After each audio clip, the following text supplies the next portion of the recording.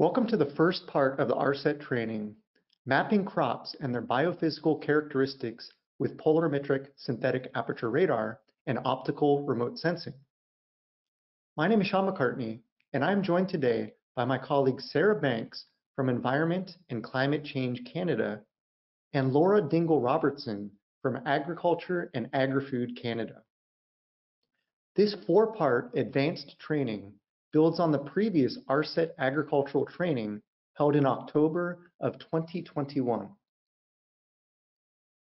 For those unfamiliar with the Applied Remote Sensing Training Program, or ARSET, ARSET is part of NASA's Applied Sciences Capacity Building Program. RSET provides accessible, relevant, and cost-free training on remote sensing satellites, sensors, methods, tools, and applications.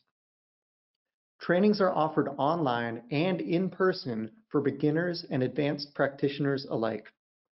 Though unfortunately, due to the COVID-19 pandemic, the program has suspended in-person training. Trainings cover a range of data sets and analysis tools and their applications to air quality, agriculture, disasters, land, and water resources management. ARSET's goal is to increase the use of earth science remote sensing and model data in decision making through training for professionals in the public and private sector, environmental managers, policymakers. Trainings are freely available to anyone with an internet connection and conducted either live, instructor-led, or self-guided, such as our Fundamental to Remote Sensing. Since 2009, the program has reached over 50,000 participants from over 170 countries. All ARSET materials are freely available to use and adapt for your curriculum.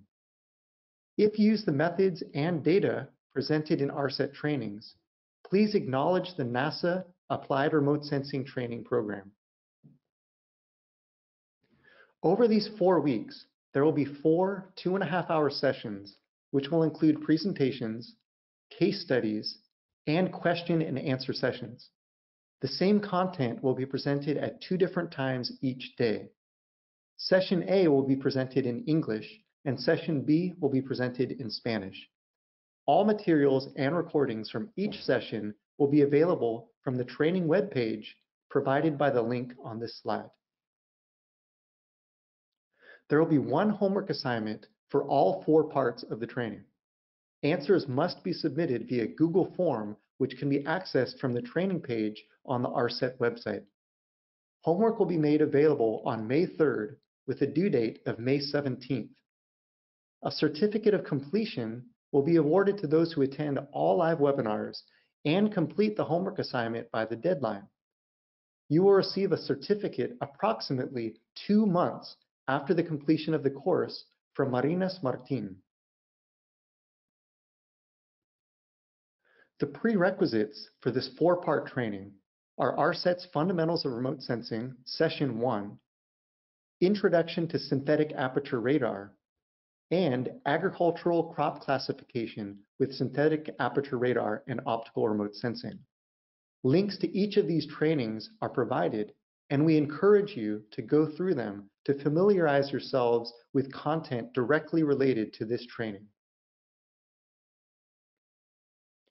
This slide outlines what each part of the four-part training will cover from April 12th through May 1st. We hope you would join us for all four parts to gain as much value from the training as possible. If you are not able to attend one or more parts, a recording will be made available within 48 hours of the training day on the ARSET website. Regarding training objectives for this webinar series, by the end of this training, attendees will be able to explain the theory behind SAR polarimetry, especially as related to crop characteristics.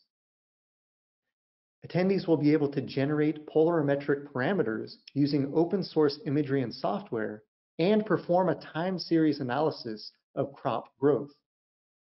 Identify how SEN4STAT can support national statistical offices in the uptake, uptake of satellite Earth observations for agricultural statistics, And finally, perform a time series analysis of crop types using Sentinel-2 derived leaf area index. I will now hand it over to Sarah Banks from Environment and Climate Change Canada to provide the theoretical background using SAR polarimetry for agriculture. Sarah, over to you.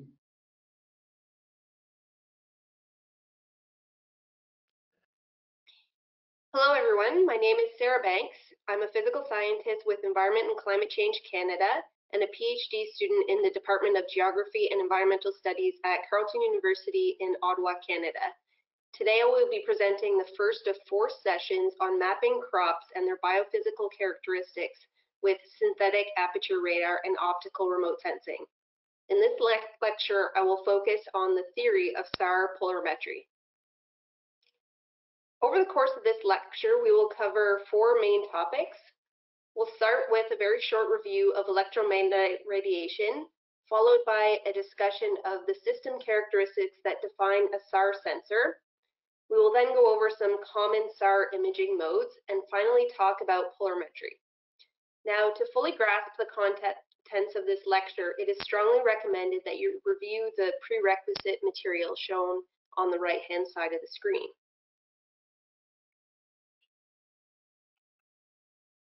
From the prerequisite material, you will recall that electromagnetic radiation is commonly conceptualized as behaving like a wave and there are different ways that the, these waves can be described mathematically.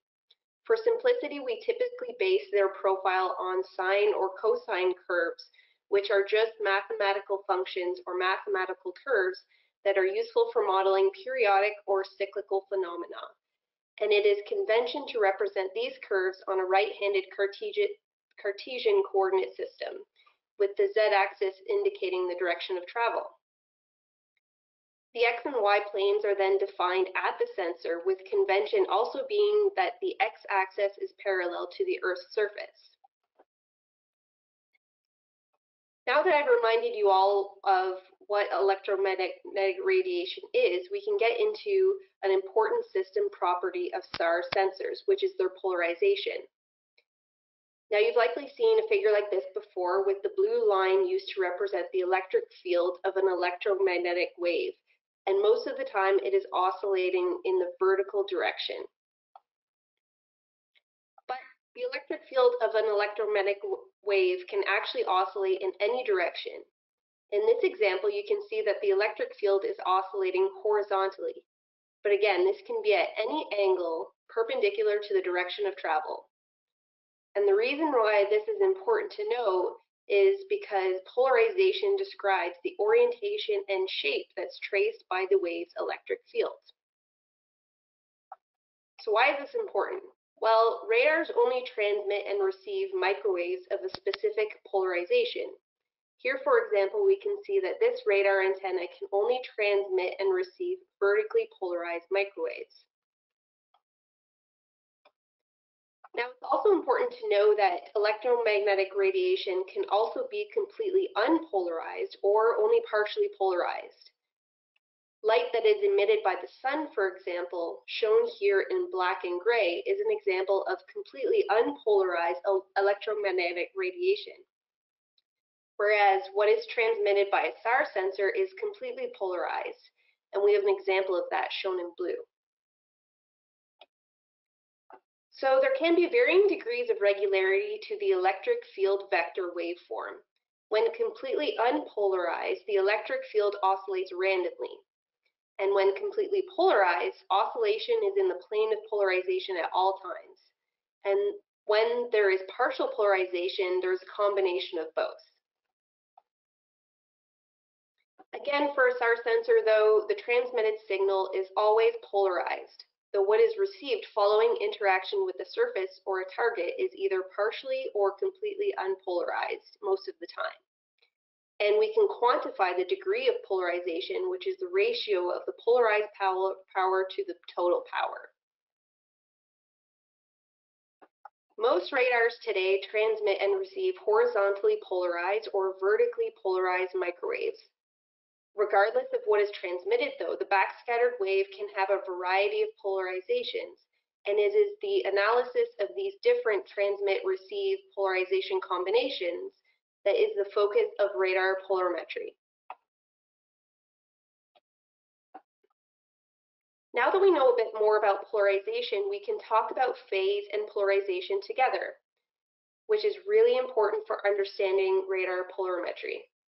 Before we begin to talk about phase, though, I wanted to start by describing what a vector is because we use this term and conceptualization a lot in radar polarimetry.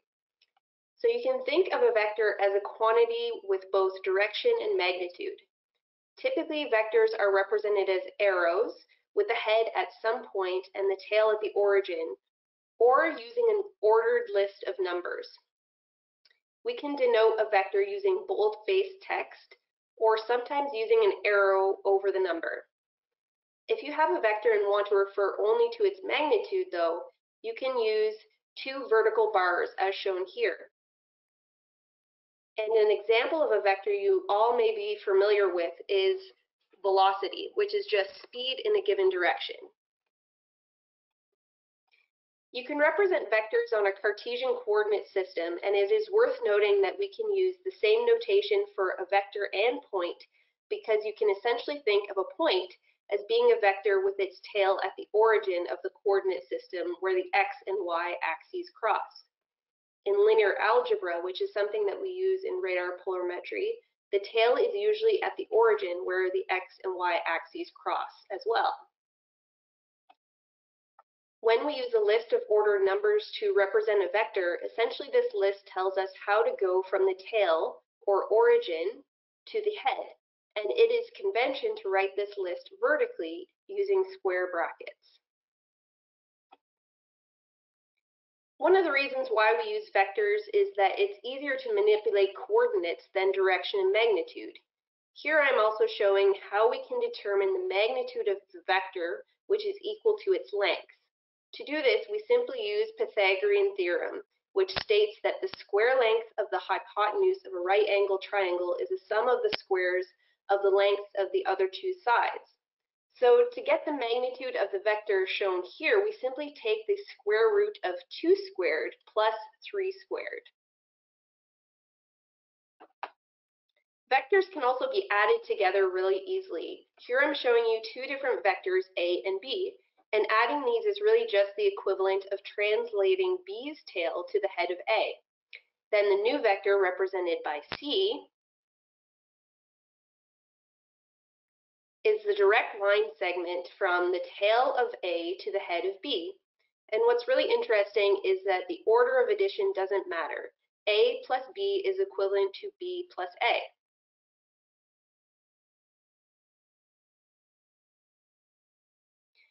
Again, you can think of it like a list of directions. Here I'm showing you the addition of vectors A and B using a list of values.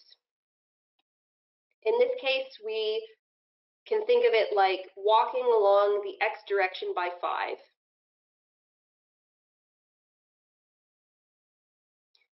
Moving up along the y direction by 5. Then along the x direction by 2 and down in the y direction by 2, which is again equivalent to drawing the line from the tail of A to the head of B.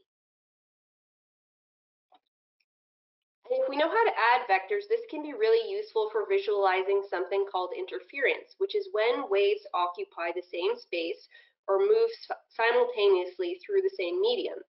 And depending on differences in their phase, which we'll talk about shortly, we can have either constructive or destructive interference. So what I'm showing you here is multiple different vectors, each of which represents a different wave, which you can think of as occupying the same space at the same time. And the product of all these waves is simply the sum of all of their amplitudes and phases together, which I'm showing you here as the final vector in purple.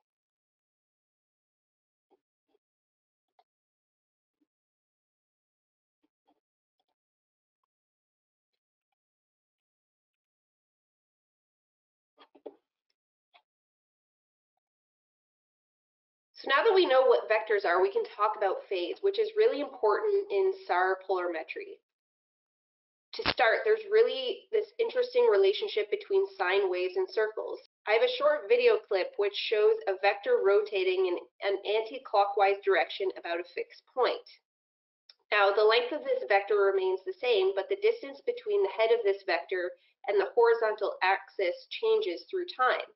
And if we map these changes in distance through space, we can see that a sine wave is formed as that vector makes a full 360 degree rotation.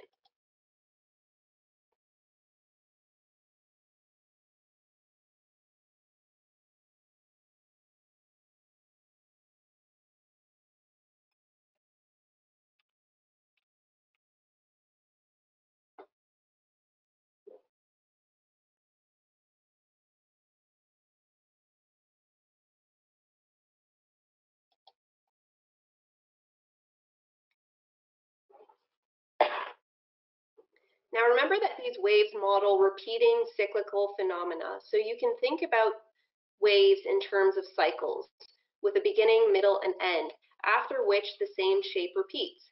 With this in mind, you can see that we can use the relationship between circles and sine waves to measure phase, or the stage of the wave cycle. And because one complete rotation of that vector draws out the equivalent of one complete wave cycle, we can express express phase in degrees, which simply measures the angle made between the vector used to represent the wave and the horizontal x-axis as shown, and which we represent using the Greek letter phi. So one quarter of a wave cycle can re be represented by a rotation of 90 degrees. Half a wave cycle can be represented by rotation of 180 degrees three quarters of a wave cycle by 270 degrees, and a full wave cycle by 360 degrees. And remember that the length of the vector represents the wave amplitude. So with the vector, we know both the wave amplitude and its phase. And at different stages in the wave cycle, we can see how a wave's amplitude changes by projecting the length of this vector onto the y-axis. So how is this information useful? Well, it's important to first know the initial phase or the stage at which the wave cycle begins. But with that, we can start to look at differences in phase between different waves. Phase differences measure, measure the offset in space or time of one wave with respect to another. Waves can be said to be in phase if their origins, origins of phase zero degrees are perfectly aligned. When this is not met, though, waves are said to be out of phase. In this example below, I'm showing you two waves which happen to be which happen to have the same amplitudes but are out of phase. And in this example, I'm showing you two waves that happen to be in phase but with different amplitudes. And finally, in this example, we have three waves with equal amplitudes two of which are in phase and another that is phase shifted by 180 degrees.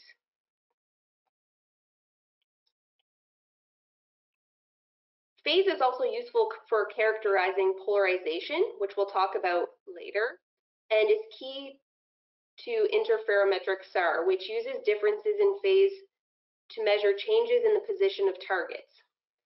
Phase is also impacted by the structure of a target, so by looking at differences in phase, it can help us distinguish between them. Despite the fact that phase information can be very useful, it's not always available or calibrated. Two common types of data you will encounter are single look complex products, where phase is available. This includes RadarSat-2 fine wide quad pol mode data and raw SLC Sentinel-1 data. There's also ground range detected products where phase information is not available. And an example of this includes the Sentinel-1 GRD products available on Google Earth Engine. So each wave has a phase angle describing at what stage in its wave cycle it's in, as well as an amplitude, which is related to its power. Within this context, we can use something called complex numbers to store both values. So you can think of this as just another way that we can describe waves mathematically. So every complex number has both a real value and imaginary value expressed using the following equation, where x and y are real numbers and i is what's called the imaginary unit, or the number whose square is equal to negative 1. Sometimes the symbol J is used instead of I, which is more often the case in, in electrical engineering, while I is more common in physics and math. And the reason why it's called the imaginary number is because I is not defined. You just have to imagine what it is. Here in the figure below, you can see that we have just replaced the x and y axes from our previous examples with what are called the real and, and imaginary dimensions. With this, we have one complex number with a real value in the real dimension and a value in the imaginary dimension as well. So imagine again that this point is actually a vector, then the phase is represented by the angle this vector makes with the real dimension, measured in the anti-clockwise direction, and its, and its magnitude is equal to its length.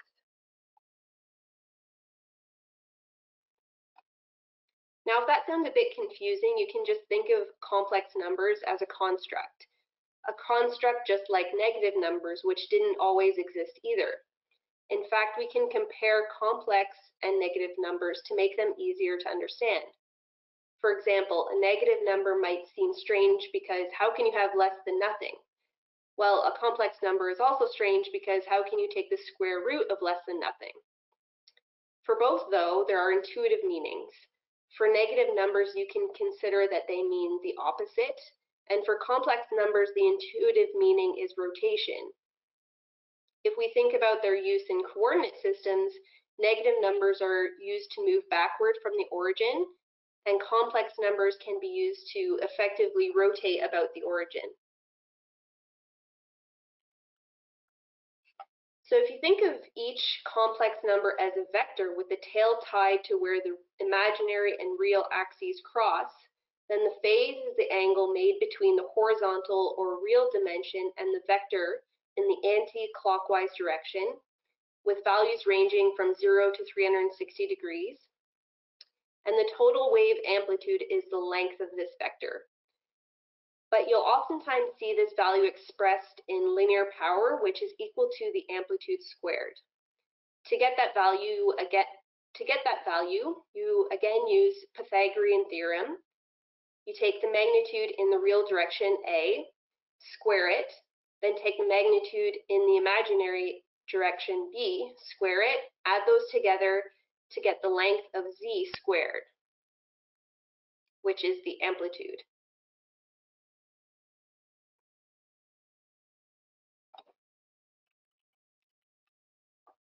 Now that we know about phase, we can talk a bit more in depth about polarization. Again, polarization describes the orientation and shape traced by the wave's electric field, and it is convention to consider the shape traced by the tip of that rotating vector projected onto a plane or flat surface.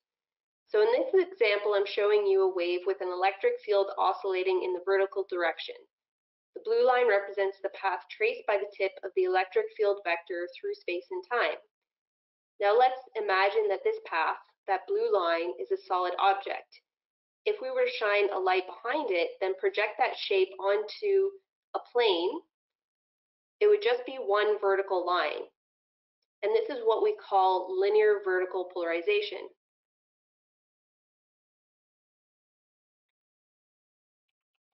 Now imagine that the electric field vector is just oscillating in the horizontal direction parallel to the x-axis.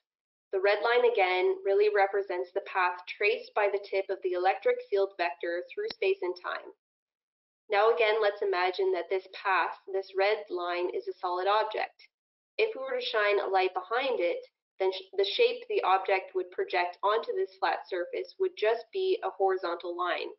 And this is what we call linear horizontal polarization.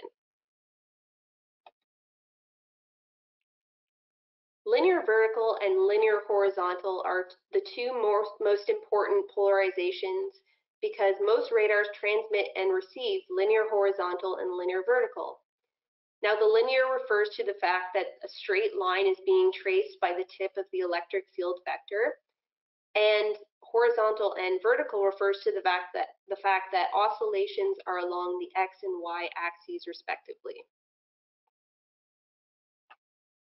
But again, it's important to remember that the electric field can oscillate at any angle, and in fact, we can measure what's called the wave's orientation angle, which is simply the angle made between the wave and the horizontal x-axis, shown here and measured in an anti-clockwise direction. Values therefore range from 0 to 180 degrees and are represented using the Greek letter psi. And now what I'm showing you are just some different orientation angles you can have. But again, two very important orientation angles to remember are linear horizontal at zero degrees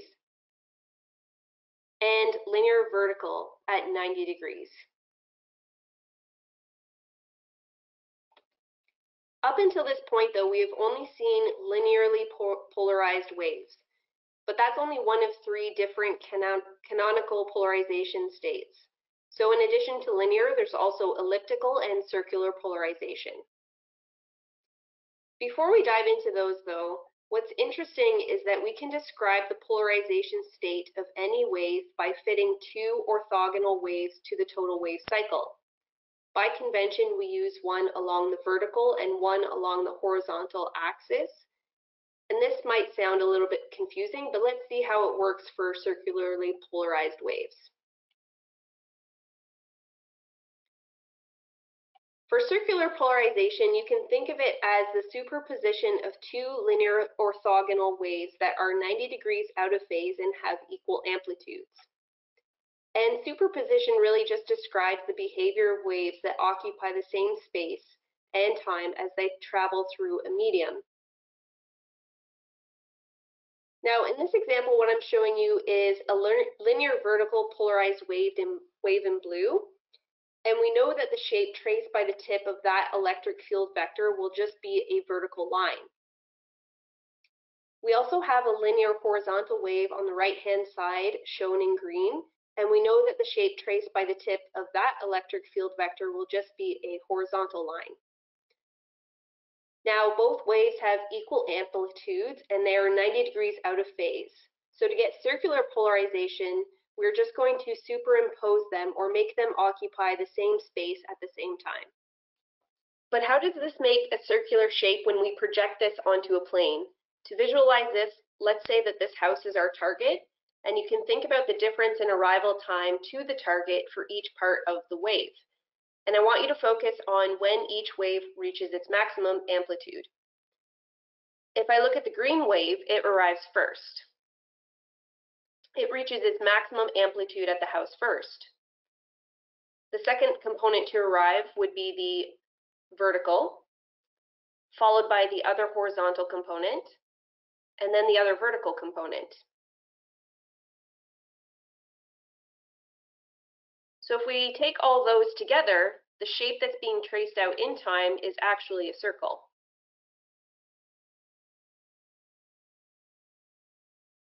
Now this animation is showing you what I was just describing, and the red line is what you should be focusing on, which is the tip of the rotating electric field vector, and it's tracing a circle through space and time.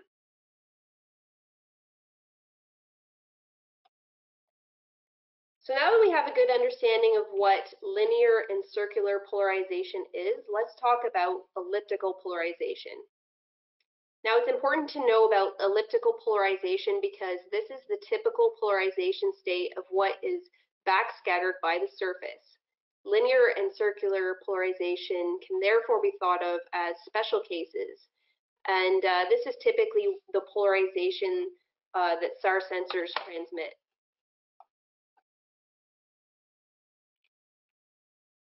So elliptical polarization can be described in a similar way to circular polarization. You can think of it as the superposition of two linear orthogonal waves, though in the case of elliptical polarization, they are not 90 degrees out of phase and or they do not have the same uh, amplitudes. So in this example, we again describe the full wave cycle by fitting one vertical and one horizontal wave, and the shape being traced out through space and time by the tip of the electric field vector is an ellipse.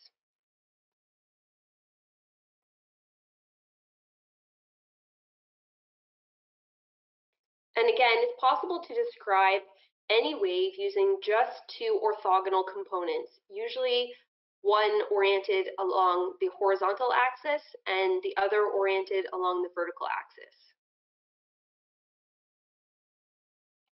And it's possible to characterize the degree of non-circularity of a wave using something called the ellipticity or eccentricity. And that's just a function of the semi-major and semi-minor axes A and B shown here, and which is represented by the Greek letter chi. Values are measured in degrees and range from the positive to negative 45. So in this example, I'm showing you a wave with an ellipticity of 34 degrees. But let's look at how that can change depending on the relative size difference of the vertical and horizontal components. So a wave will tend toward the horizontal as the vertical component tends to zero and vice versa. So let's see what happens if this wave tends more to the horizontal. We can see that the vertical component starts to decrease and again, any polarization state can be described by two linear orthogonal waves as long as the phase is also measured. So what's interesting is that if our SAR sensor can measure just two orthogonal components, we can measure circular, linear, and or elliptical polarization.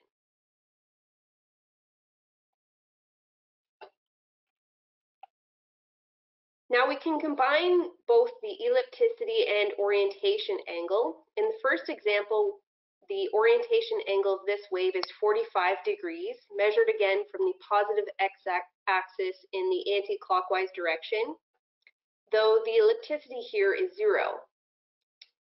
In the middle, we have a wave with the same orientation angle, 45 degrees, but an ellipticity of 34 degrees.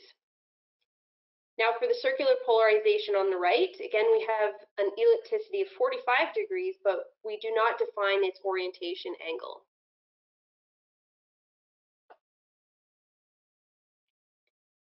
But as we saw, chi values can be negative. Let's look at why. Both ellipticity, both elliptically and circularly polarized waves have a handedness or a direction of rotation which just tells us if the vector tip is rotating clockwise or anti-clockwise. In this example, we have the viewer located at the source of the wave looking toward the direction of travel. The example closest to the viewer shows a wave spinning in the anti-clockwise or left-handed direction, while the one farthest from the viewer shows a wave spinning in the opposite direction or clockwise direction. In the example on the left, in the example of the left-handed rotation, chi values would be negative, and in the right-handed rotation, chi values would be positive. But when you view these same waves from the target toward the source, both waves would be rotating in the opposite direction.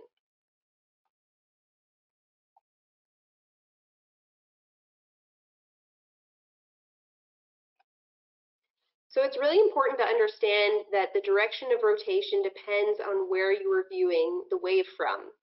There are two different conventions that are used that you should be familiar with. In all cases, we define a coordinate system by three axes, though we have something called the forward scatter alignment convention, where the positive z-axis always points in the direction of travel. And we have the backscatter alignment convention, where the positive z-axis always points towards the target. Now, the backscatter alignment convention is more commonly used, but it's important to know that both do exist. Remember, though, that waves can be completely unpolarized, which is when the electric field vector oscillates randomly, and there is no clearly defined polarization. There are also completely polarized waves where these oscillations are in the plane of polarization at all times, and then you can have waves that are partially polarized, which is really the superposition of many different polarizations with one or more being dominant.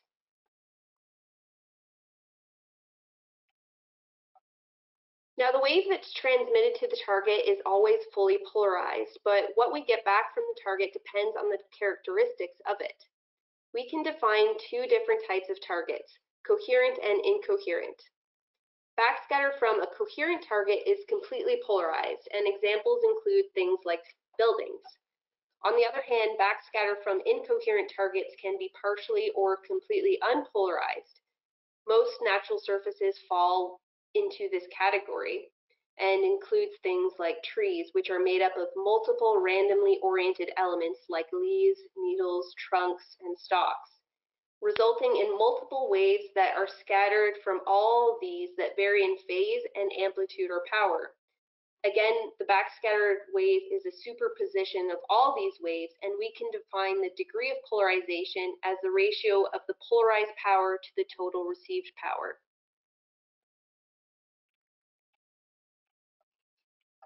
So now we'll talk about some common SAR imaging modes. As we've, as we've mentioned, SAR sensors are designed not only to transmit microwaves of a specific polarization, but to also receive a specific polarization only.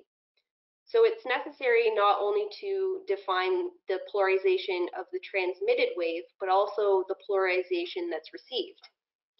To do this, we use a combination of two letters, the first always indicates what polarization was transmitted, and the second always indicates what polarization was received. Again, the most common transmit-receive polarizations are some combination of linear horizontal, represented by H, and linear vertical, represented by V.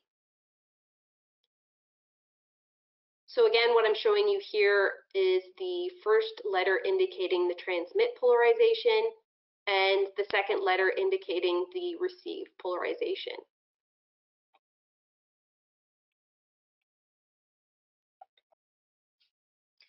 Now, what is transmitted by the sensor is very closely controlled. So the wave that arrives at the target is fully polarized, say in the linear vertical or linear horizontal. But just because that's what's transmitted doesn't mean that's all that we will receive. Remember that linear and circular polarization are special cases and that most often waves are elliptically polarized, meaning that they have both a vertical and horizontal component that are not 90 degrees out of phase and or differ in amplitude. And remember that we can describe any electromagnetic wave using a linear horizontal and linear vertical wave fitted to the entire wave cycle. So now what I'm showing you is the transmission in the linear vertical.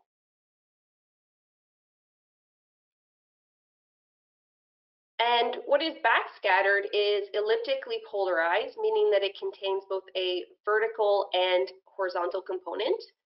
But because our polarization is also vertical on receive, the polarization is VV, we can only receive the vertically polarized component.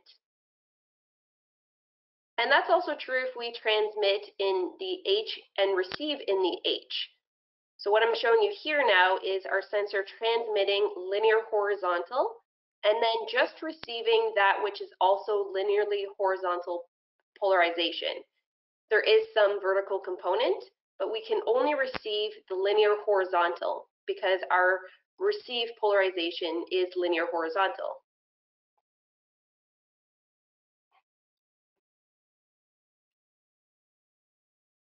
Now, all other factors being equal, returns for a given polarization depend on the amount of energy that hits the target. So it's proportional to the target cross-section. In other words, the size and orientation of the target and the polarization of what is transmitted determines the, determines the amount of energy that's returned.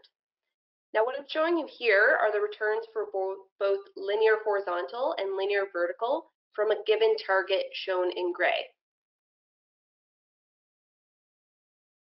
Now, as I rotate that target towards the horizontal plane, we can see that our returns in the vertical start to decrease.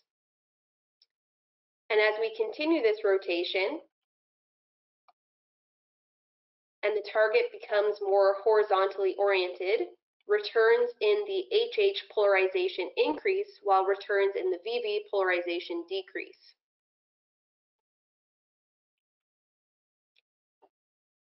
So when you transmit and receive the same polarization, it's referred to as copolarization. But it's also possible to transmit one polarization and receive another. We call this cross polarization. And in this example, what I'm showing you is VH, where we transmit in the linear vertical. And noting again that just because we transmit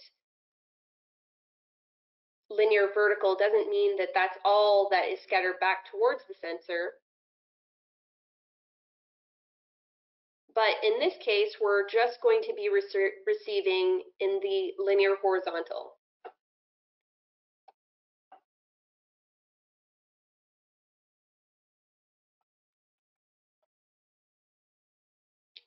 So when incident microwaves encounter a rough surface, returns are mostly in the same polarization as what was transmitted. However, when scattering is within a volume or medium, such as when incident microwaves encounter a vegetated canopy, something called volume scattering occurs where incident microwaves interact with varying elements within the canopy. And this generally results in higher cross-pol returns, so higher HV or VH. So with linear horizontal and linear vertical, there are four possible transmit-receive combinations. We can have HH, where we transmit in the linear horizontal and receive in the linear horizontal.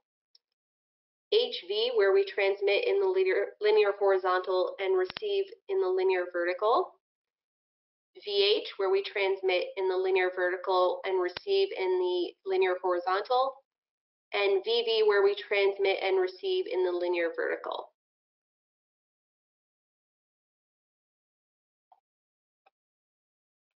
With ju just one polarization, though, this really only provides sort of one-dimensional information about the surface or target. So with just one polarization, we can really only talk about varying degrees of brightness. And while that can be useful for distinguishing certain targets, it can also be advantageous to collect more than one polarization. So in fact, some SAR sensors are dual polarized, and some of those also record the phase difference between different polarizations. And these are called coherent, coherent dual pol radars. For those that only record intensity information, though, we call those standard dual pol SARs.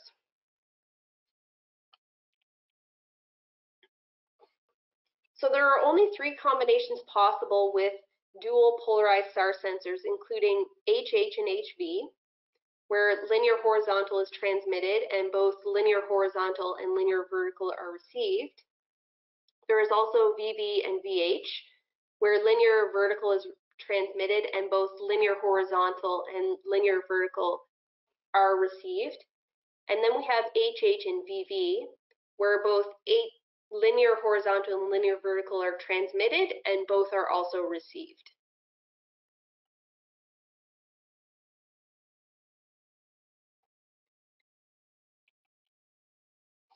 Now the co-pol phase difference, which measures the phase difference between HH and VV, can be really useful for characterizing the structure of targets, as values are indicative of the number of bounces incident microwaves experience before returning to the sensor. When the phase difference is zero, we can interpret this as an odd number of bounces, and this is characteristic of scattering from a rough surface a phase difference of 180 degrees can be interpreted as an even number of bounces and is characteristic of scattering from two perpendicular surfaces, which is called double bounce scattering. And values between these two extremes are then interpreted as indicative of volume scattering. So every time there's a surface interaction, HH and VV go in and out of phase. When there's an odd number, HH and VV are in phase, and when there is an even number, HH and VV are out of phase. There is also a cross-pol phase difference, but it's usually quite random. There's also a quad pol or polarimetric radar, which is the equivalent of transmitting and receiving all single polarizations and also recording the phase differences between them.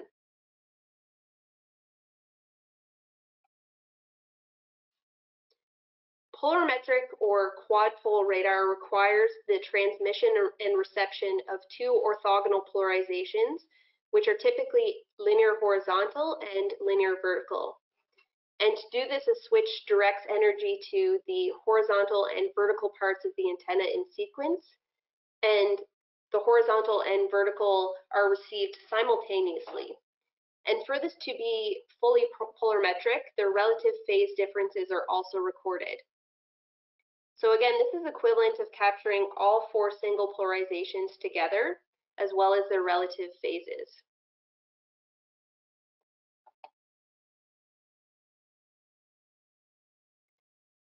And so one of the advantages of collecting quad pol or fully polarimetric data is that you have the information available to characterize so-called scattering mechanisms, which help us identify targets and or surface types as well as monitor changes in what we call scattering behavior through time. And these are generally, these are roughly categorized as rough surface scattering, which is characteristic of rough surfaces, volume scattering, which is typically observed for vegetated surfaces, and double bounce scattering, which we often see for buildings.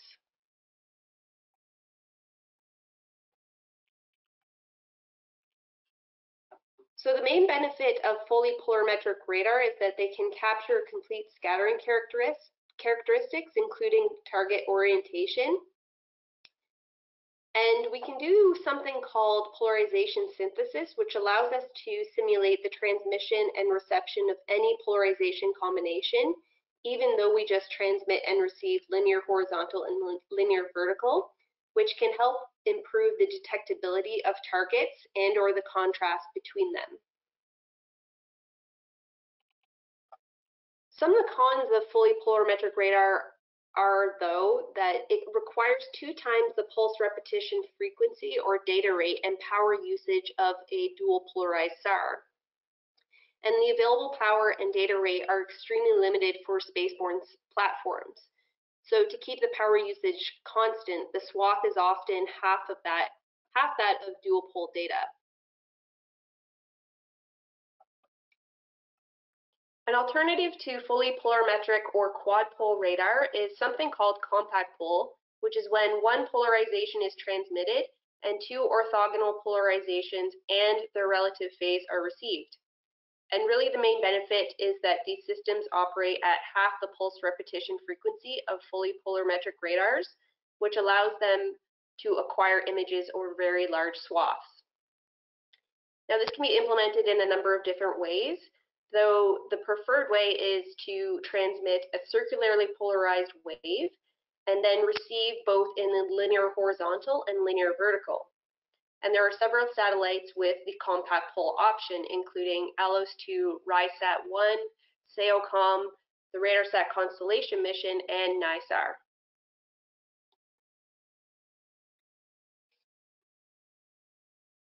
So in this figure, I'm just showing you a visual, visual a visualization of this transmission in the right-hand circular and receiving both linear horizontal and linear vertical simultaneously as well as their relative phase.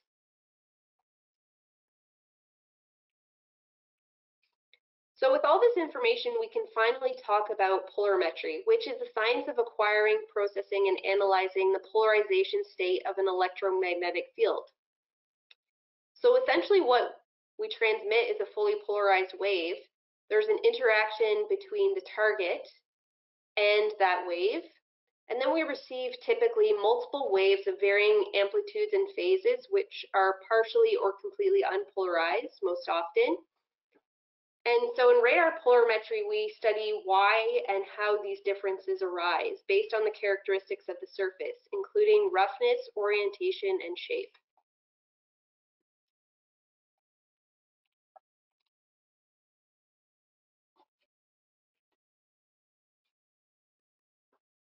So for this part of the lecture, we're going to be going over three different things. We're start, we will start with a review of what vectors and matrices are, and then we'll talk about commonly used vectors and matrices in SAR polarimetry, and then we'll talk about decomposition.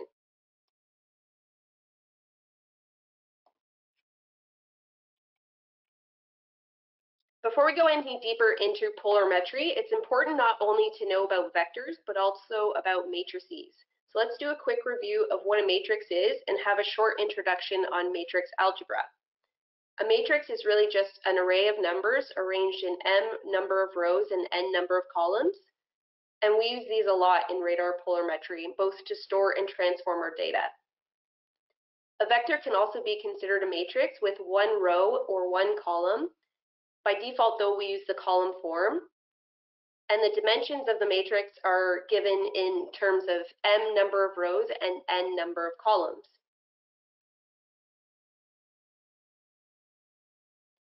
When referring to a specific element of a matrix, we identify the row and then the column. In this example, we're looking for element 1, 2, shown in red. That would be the first row, second column. In the second example shown in green, we're looking for the element stored in the first row and third column.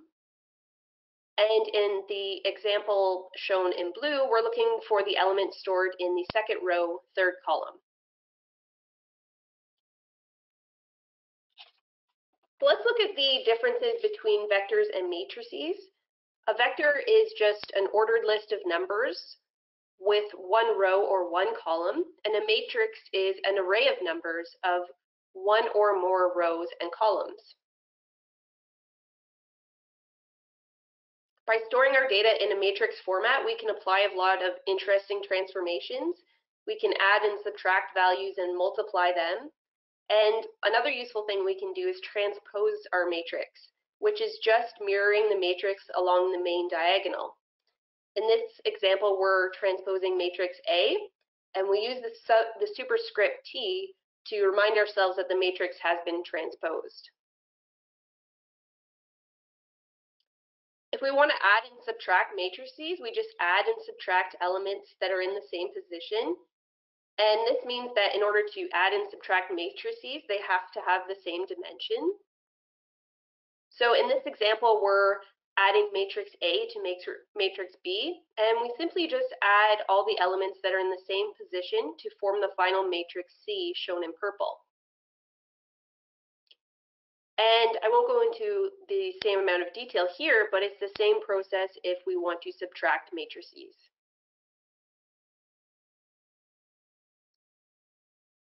Multiplying matrices is more complicated though. Here we will show you an example of how to multiply matrices, but it's worth noting that this, this is a construct. Uh, this was something that was invented. It could have been done a number of different ways, but this is the way that's been defined. So let's say that we have two different matrices, A and B. Well, we can only multiply them if the number of columns of A is equal to the number of rows of B. So in this example, both matrices are 2 by 2, so a simple trick to tell if they can be multiplied is to list the size of both matrices and look at the two numbers closest together. If these are the same, then those two matrices can be multiplied. And it's also important to note that the order of multiplication matters.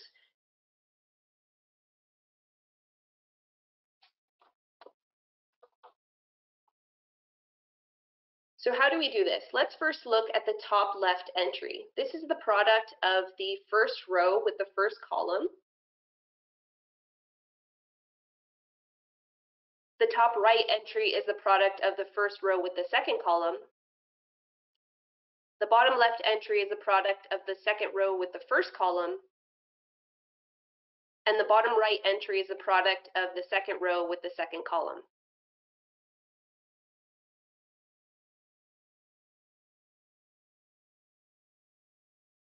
So now let's talk about some different ways we can characterize our data using some common vectors and matrices. As we saw previously, the wave vector is the simplest way to describe wave polarization math mathematically, but it's also not always the most practical. So something that was introduced was is called the Stokes vectors, which fully describe both fully and partially polarized waves. And to make things easier, they're usually stored as a vector.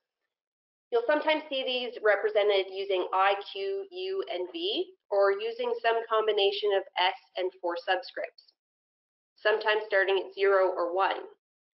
For now, we're going to stick to the I, Q, U, and V convention. So you can imagine that for a single pixel, you have these four different values stored in four different image bands. And that would be one way to represent your data for every pixel uh, within your image. The first element, I, is simply equal to the total wave power or intensity. And remember that the total power or intensity is the total amount of energy in the wave, which is equal to the amplitude squared. Now you may be wondering why we square the amplitudes. It's because we're just interested in this length here.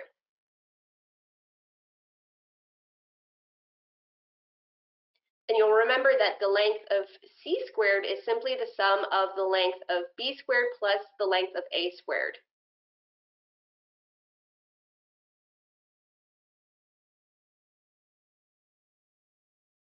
And the brackets used in this equation indicates that averaging was applied over time, which is necessary when waves are partially polarized. Note that this first parameter does not contain any polarization information, it's just the total power or intensity of the wave.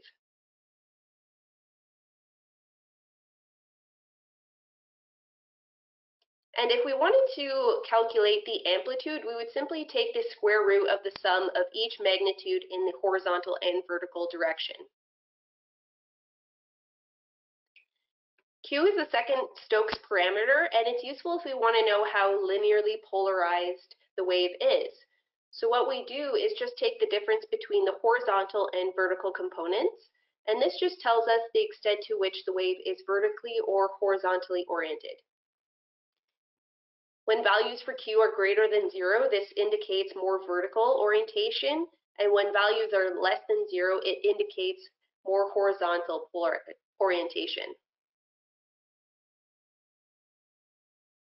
Now, we need an additional term U because if waves were oriented at the positive 45 or at negative 45 degrees, they would still be linearly polarized, but Q would be equal to zero. So U tells us the extent to which the wave is polarized at the positive or negative 45. When U is greater than zero, it's more oriented in the positive 45 direction, and when it's less than zero, it's more negative 45.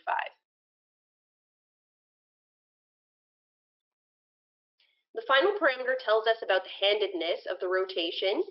So whether it's rotating in the clockwise or right-handed direction, or in the anti-clockwise or left-handed direction. When values are greater than zero, that means it's rotating in the left-handed direction, and when it's less than zero, it's rotating in the right-handed direction.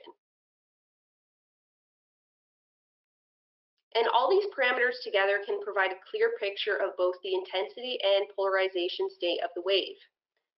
For waves that are completely polarized, we don't have any value for Q, U, and V because these describe the polarization state of the wave.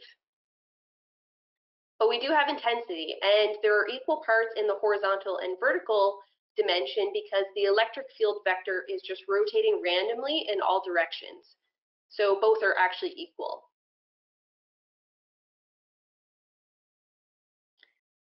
For a linearly polarized wave, we have a positive value for both I and Q, whereas U and V are equal to zero. For a linearly polarized wave at the negative 45, we have a positive value for I, Q is equal to zero, U is negative, and V is also zero. And for a right-hand circular polarization, we have a positive value for I, U, U and Q are equal to zero, and V is positive, indicating a right-hand circular orientation. And the Stokes parameters together can also measure the degree of polarization, which is just the uh, ratio of the polarized power to the total power. So we take the square root and sum of Q, U, and V and divide by the total power. When m is equal to 1, that indicates that the wave is completely polarized. And when m is equal to 0, that indicates a completely unpolarized wave. And when values are intermediate between those two, it indicates partial polarization. But what about quad pol data? We would need at least two Stokes vectors to store all of our uh, intensity and phase information for every channel. So because you need at least two sets of Stokes vectors for fully polarimetric SAR data, the Stokes vector representation is always, not always the most efficient way to store data. Instead, what we can use is something called the scattering matrix. Here, each of the SPQ elements represent each of the four transmit-receive combinations of a fully polarimetric radar. The first letter indicates the transmit polarization, and the second the receive. So typically these are used to represent the linear horizontal and linear vertical combinations. It's interesting to note that P and Q can actually be any pair of polarizations as long as they are orthogonal So for fully polarimetric SAR data, the Stokes vector is not the most efficient way to store data because you would need at least two sets of Stokes vectors. Instead, what you can use is the scattering matrix, which describes the transformation of the incident to the backscattered wave. Here, each of the SPQ elements represent each of the four transmit-receive combinations of a fully polarimetric radar. The first is the transmit, and the second is the receive polarization. And P and Q can be any pair of polarizations as long as they are orthogonal, and we can represent them in the scattering matrix. Each element of the scattering matrix is also a complex number containing both amplitude and phase information.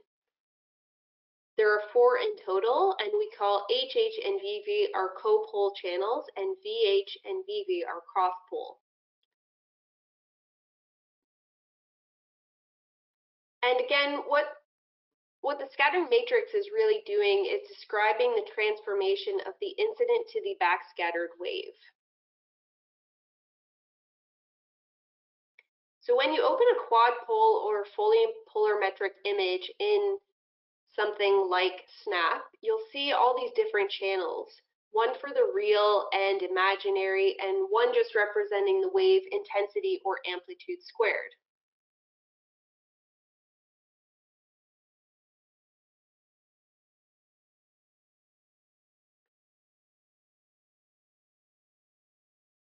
For most natural features, though, the scattering matrix only has three independent parameters. HV and VH are reciprocal, and that just means that the process is the same forward as it is backwards. So what usually happens is that we average HV and VH together, and that gives us just three independent parameters. This is advantageous because it provides a more accurate estimate of what you would call your cross-pol returns. And this is great because returns are typically low and closer to the noise floor for these channels. So averaging improves uh, their estimation. And when we do this averaging, it makes these elements equal and our matrix can be said to be symmetric.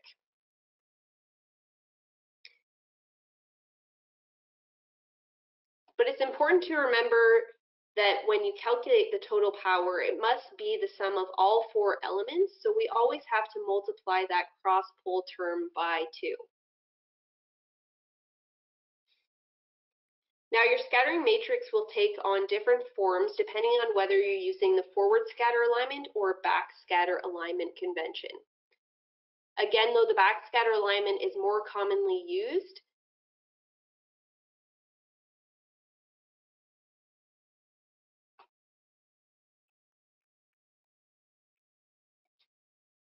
So since there are only three complex measurements once re reciprocity has been assumed, instead of a matrix, what's called a target vector can be defined. Now k, as shown here, is the target vector in the linear coordinate form. And note that each element is a complex number still. And the superscript t reminds us that the column has been transposed. So what you can do is represent each of these elements in an RGB composite.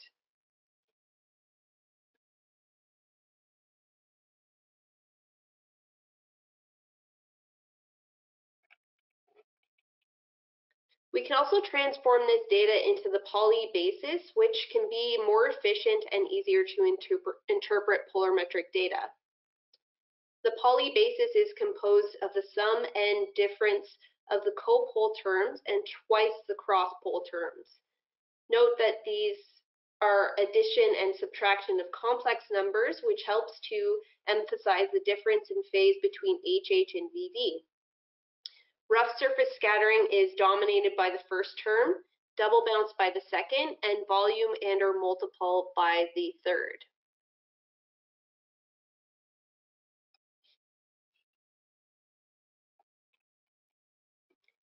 From these target vectors, other matrices can be defined, and these can be considered second-order descriptors of the scattering matrix, which, rather than representing the channels themselves, as is the case with the scattering matrix, they characterize this, the statistical interrelationship between different channels, which is achieved via averaging, usually of adjacent pixels through application of a speckle filter.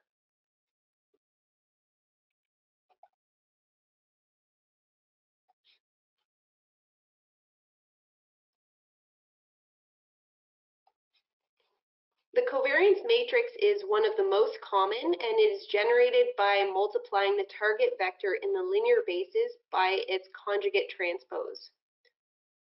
What that means is just applying a change in sign of the imaginary part of the complex number. And again, this characterizes the degree of similarity of the polarimetric channels and brackets here are used to indicate that averaging has been applied, usually over multiple pixels.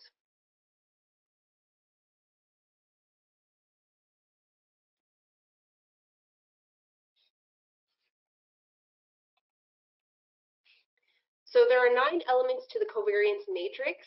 Three of these numbers are real, representing the intensity of each polarimetric channel. These are represented on the main diagonal of the matrix. There are also six complex values that are contained in the off-diagonal elements of the matrix. And to get the total power, we simply sum the main diagonal, diagonal elements. Note again that we multiply the cross-pol term by 2.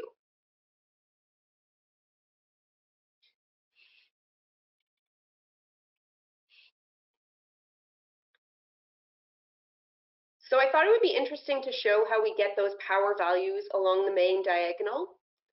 And again, to get the covariance matrix, we multiply a set of complex numbers by their complex conjugate.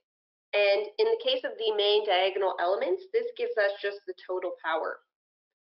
I won't go into too much detail here, but this is just to show that when we multiply these two vectors, the result is just a rotation of the original vector so that it lies parallel with the real dimension. And then in effect, what you have is just one magnitude value, which is equal to the length of the vector. And we know that that is equal to the wave amplitude. And if we square it, that is the total wave power. Note that we don't have any phase angle to measure here anymore. And that is how we get the power values along the main diagonal. I won't go into too much detail here about what all the other elements mean because interpreting these can be really difficult. And in fact, that's one of the reasons why we apply decompositions. I will just say, for example, though, that elements C12 and C21 are close to zero for natural targets, though do contain some useful information in urban areas. Element C13 is also the phase difference between HH and VV, which can be useful for distinguishing between odd and even number of bounces.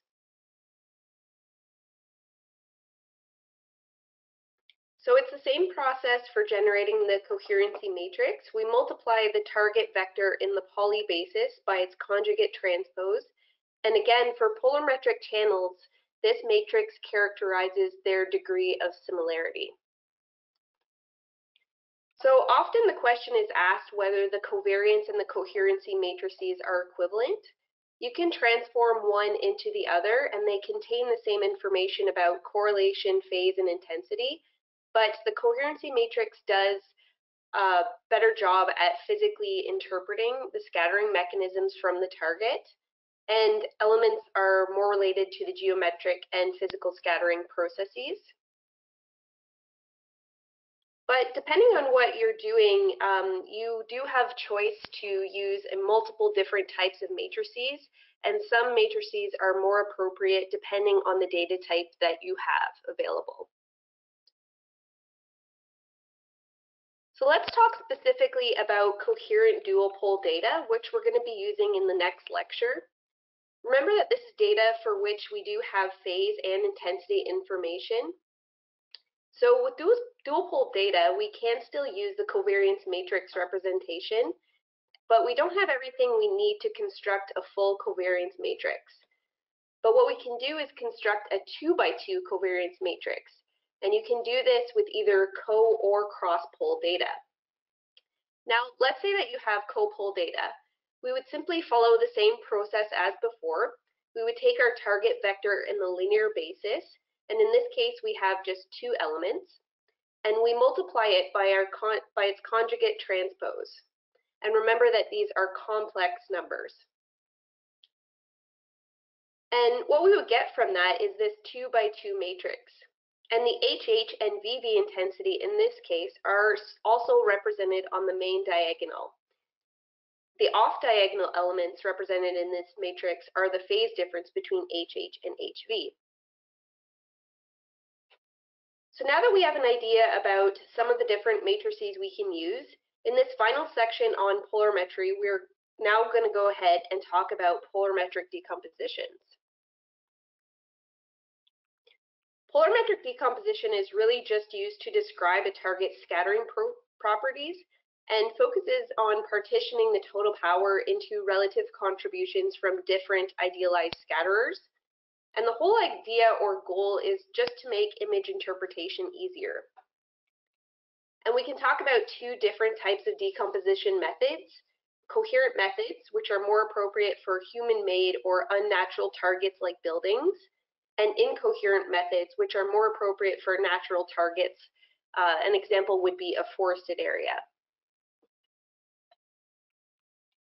The whole idea behind coherent decomposition is that we want to express the scattering matrix as a combination of responses from simpler canonical objects. And we do this because to directly interpret individual elements of the scattering matrix can be difficult. And this type of decomposition is ideally suited again for what we call coherent point or pure targets. And these are targets for which the phase is known and predictable. So an urban area would be a good example of this. Now let's have a look at incoherent decomposition methods. Because of speckle, it's necessary to characterize some targets statistically, and this cannot be done using the, scat the scattering matrix. So we need second order descriptors like the covariance and the coherency matrix that we just went over. However, direct, direct interpretation of these is also difficult, so we can express those as a combination of responses from, from simpler targets. And these decomposition methods are appropriate for natural features like forest areas. Now, there are a lot of different decomposition methods, some of which are for coherent or incoherent targets, and some of which are based on the covariance or coherency matrix or the scattering matrix. We don't have time in this lecture to go over every one, but we will go over one example, which is the Cloude-Pottier decomposition that is based on the coherency matrix. The Cloude-Pottier decomposition is what's called an eigenvector eigenvalue based de decomposition. And from this, we get three secondary parameters, including the entropy, anisotropy, and mean alpha angle. Entropy describes the degree of randomness of scattering with values equal to 1 indicating a distributed target where there are multiple individual scatterers. Values of 0 indicate pure targets where there's just one scattering mechanism. And when en entropy values are greater than 0.7, it can be difficult to interpret scattering mechanisms, so we use anisotropy as a complementary information source. In the figure on the right side of the slide, you'll see an example of a RADARSAT-2 quad-pol image that was acquired along the coast of Canada. And what you can see is that over water, values are low, indicating that there is one dominant scattering process, whereas values over land are high, indicating multiple scattering processes in the presence of vegetation. Anisotropy indicates the relative importance between secondary and tertiary scattering mechanisms. When the values are greater than zero, a low value indicates a third scattering mechanism contributes significantly to the total power. And when the values are high, only the second contributes significantly to total power. When anisotropy values are equal to zero, contributions from the second and third scattering mechanisms are equal. So in the example on the right-hand side, again, you'll see that we have near equal contributions over land as indicated by the color blue. Finally, the mean alpha angle is used to determine the dominant scattering mechanisms. Values range from 0 to 90 degrees, with low values from 0 to 45 degrees indicating surface or odd bounce scattering, Intermediate values around 45 degrees indicate volume or multiple scattering, and values greater than 45 degrees indicate double bounce scattering.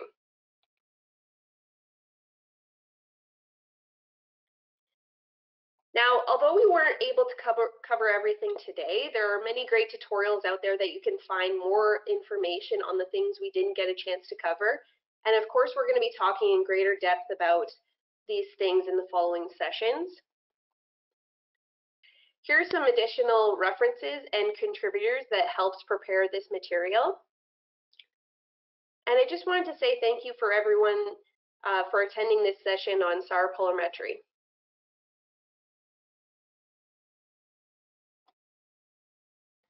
Hello, my name is Dr. Laura Dingle Robertson, and I work in research and development at Agriculture and Agri-Food Canada, AAFC, using SAR and optical satellites for mapping and monitoring agriculture in Canada. In this session, I will provide instructions on how to create intensity-derived SAR parameters from RADARSAT Constellation mission fully polarimetric data. Intensity of each pixel represents the proportion of microwave backscattered from that area on the ground and depends on a variety of factors types, sizes, shapes, and orientations of the scatterers in the target area, moisture content of the target area, frequency and polarization, as well as the incidence angles of the radar beam.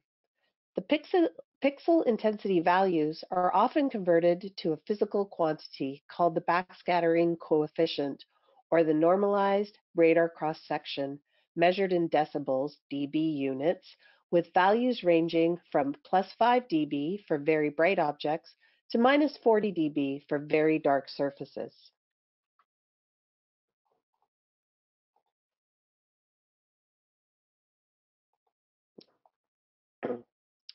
Intensity-derived parameters are not concerned with phase information of complex R systems. They can simply be generated from the backscatter coefficient. There are several intensity parameters that can be derived in particular while using ESA's SNAP processing tool. These include total power or intensity, called SPAN, radar vegetation index, the radar forest degradation index, biomass index, and canopy structure index, the co-pol and cross-pol ratios, HH over HV, HH over VV, and VV over VH, and all of these, the indices and the co-pol and cross-pol ratios, integrate backscatter from different polarizations to one value. Like optical indices, these mitigate system error and noise. Assuming calibration error is the same for all polarizations, a ratio or index may mitigate the error and may mitigate some impacts of changes in incidence angles if you're using several, piece, several images. Generally generating these require fully polarimetric or quad polarimetric data with VV, HH, and VH, HV intensity. These can come from sensors like RCM or SAOCOM, for example. But also newer indices and ratios are being generated with the dual polarimetric Sentinel-1 data. Total intensity or span. This is a quantity giving the total power intensity received by the four channels of a fully polarimetric radar system. Or if we're considering a dual polarimetric system, that would be the channels, the two channels of received intensity. In terms of the scattering matrix, the total power is equal to the sum of all matrix elements. And the equation for calculating span is the sum of HH plus 2HV plus VV, where HV is multiplied by 2 due to the reciprocity condition where HV equals VH. What you see in the span image here from June in Canada on the left, you have low span or low total power or intensity in bare agricultural fields represented by the red color. And this is due to the quasi-specular reflection on these bare fields of the SAR waves. The high span or dark blue areas in mixed forest and shrub areas is due to the high radar return that can be linked to what is known as volume scattering. Other intensity-derived parameters can be generated by combining the intensity channels such as HH, VV, and VH along with scaling factors in a similar way to optical imagery manipulation. In these scenarios, the combinations of the intensity channels to one value help simplify the response, but allow for quantitative and qualitative evaluations of agriculture vegetation cover, health, and growth dynamics. One such example is the Radar Vegetation Index, or RVI, and it's used to estimate vegetation con conditions similar to NDVI. HV backscatter is highly impacted by vegetation. RVI is calculated as 8 times HV over the sum of HHVV and 2 times HV. 8 is a scaling factor because HV values are significantly lower as compared to HH and VV. As I mentioned, other indices available in SNAP include the Radar Forest De Degradation Index, the Biomass Index, and the Canopy Structure Index. When you're using these, you really should try and understand the physics behind them and their associated equations to make a, a true assessment as to whether or not they will be useful for agricultural applications. Currently, we've only been looking at using this radar vegetation index that is available through SNAP for our agricultural purposes.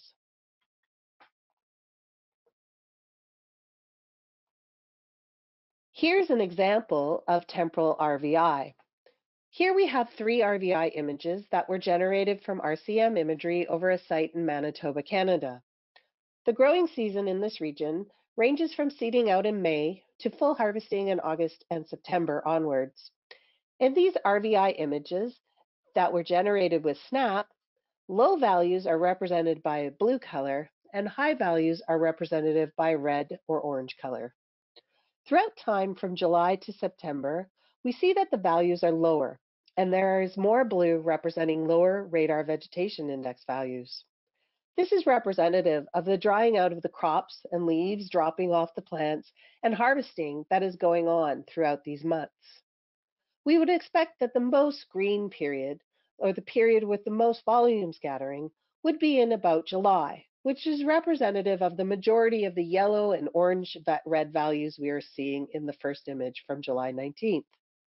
But you will notice there are high values of RVI in red in September, and while this could be representative of maybe strong vegetation values at that time, it could also be a reflection of a rough response from rough soils. So in particular, you'll see these red circles. And these circular fields are actually in this area, usually potato fields. So potatoes, when they're harvested, have very deep trenches, some of which are filled with harvested potatoes. And these values have a, or these surfaces have a very rough surface. And these values, these high RVI values, could actually be related to those rows and rough surfaces and how these have all been harvested. So it's very important when you're using indices to actually understand what's happening on the ground rather than simply trying to represent RVI, high RVI to high green values.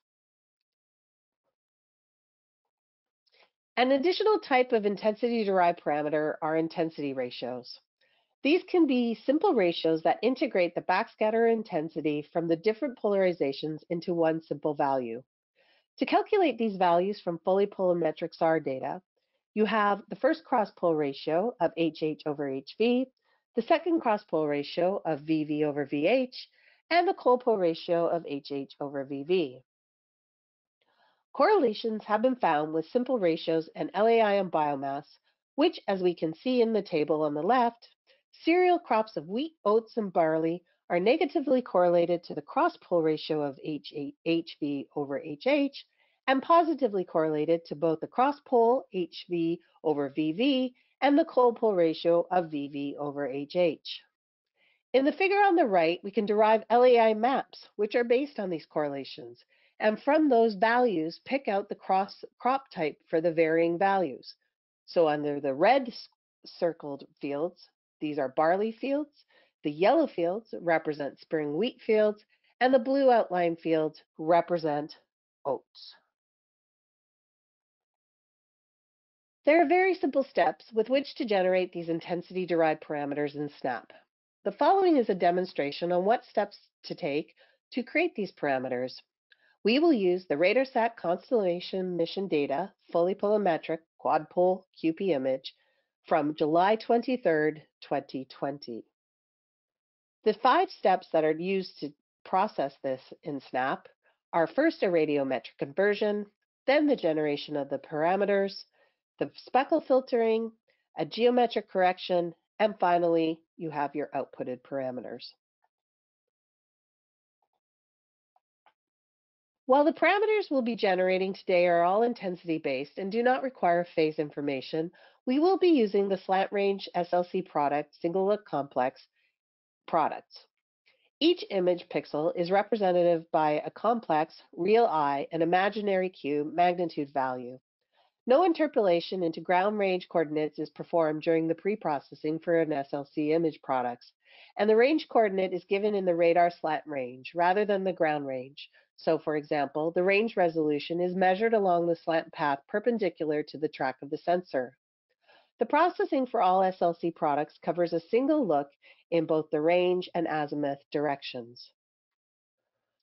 RCM imagery is available to anyone through the Earth Observation Data Management System, EODMS.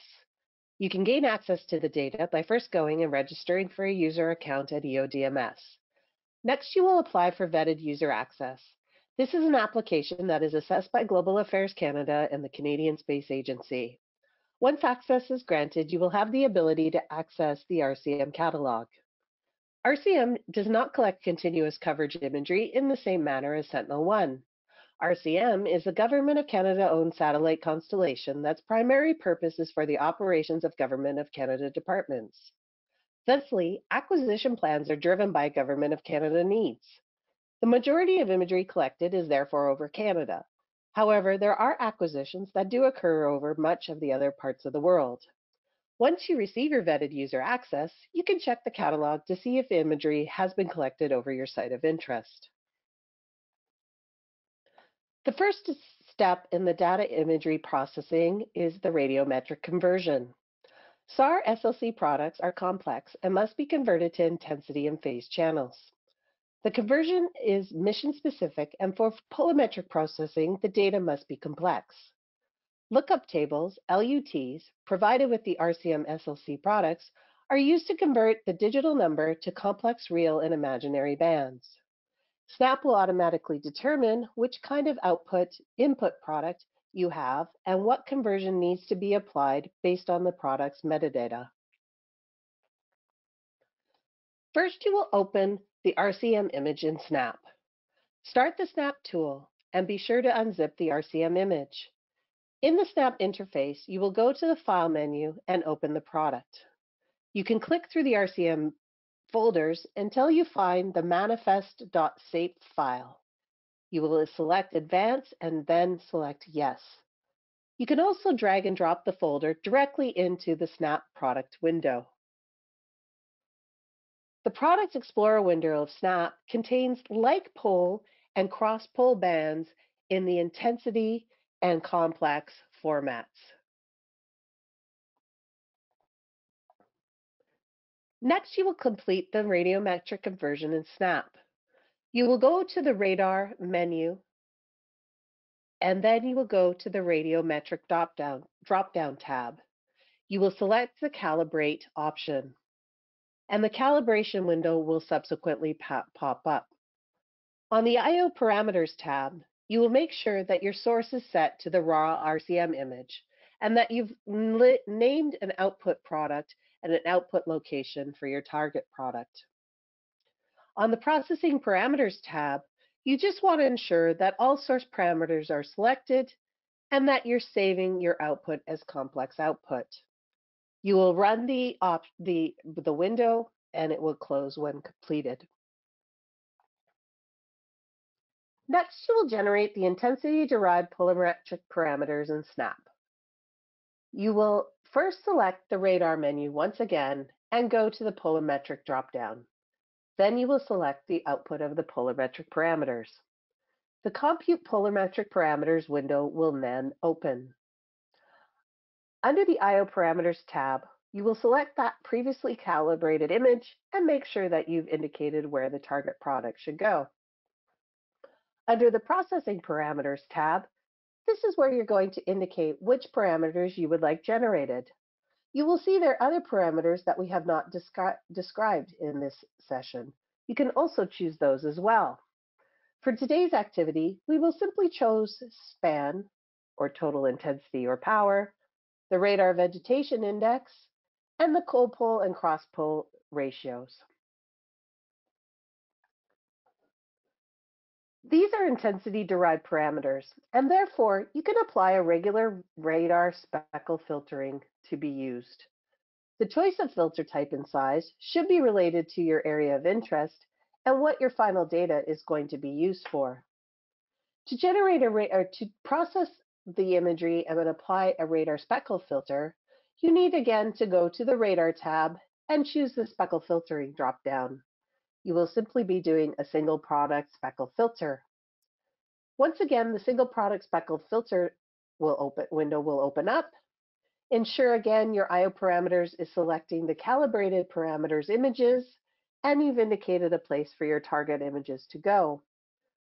Your source bands should be indicated as the parameters that you've gen generated, span, RVI, and the three different co-pol cross pol ratios.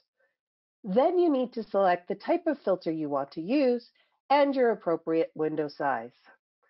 The choice of a filter type is very specific to your area of interest. In our particular case, in this area of Canada, we have very large fields, and previous testing has shown that we can use very large window sizes, 9 by 9, in order to apply the speckle filtering. We also have done previous research for our areas of interest and have chosen the gamma map filter. But there are other filter types and you should look into that for your area of interest. Once these parameters are selected, you click Run and close the window when completed.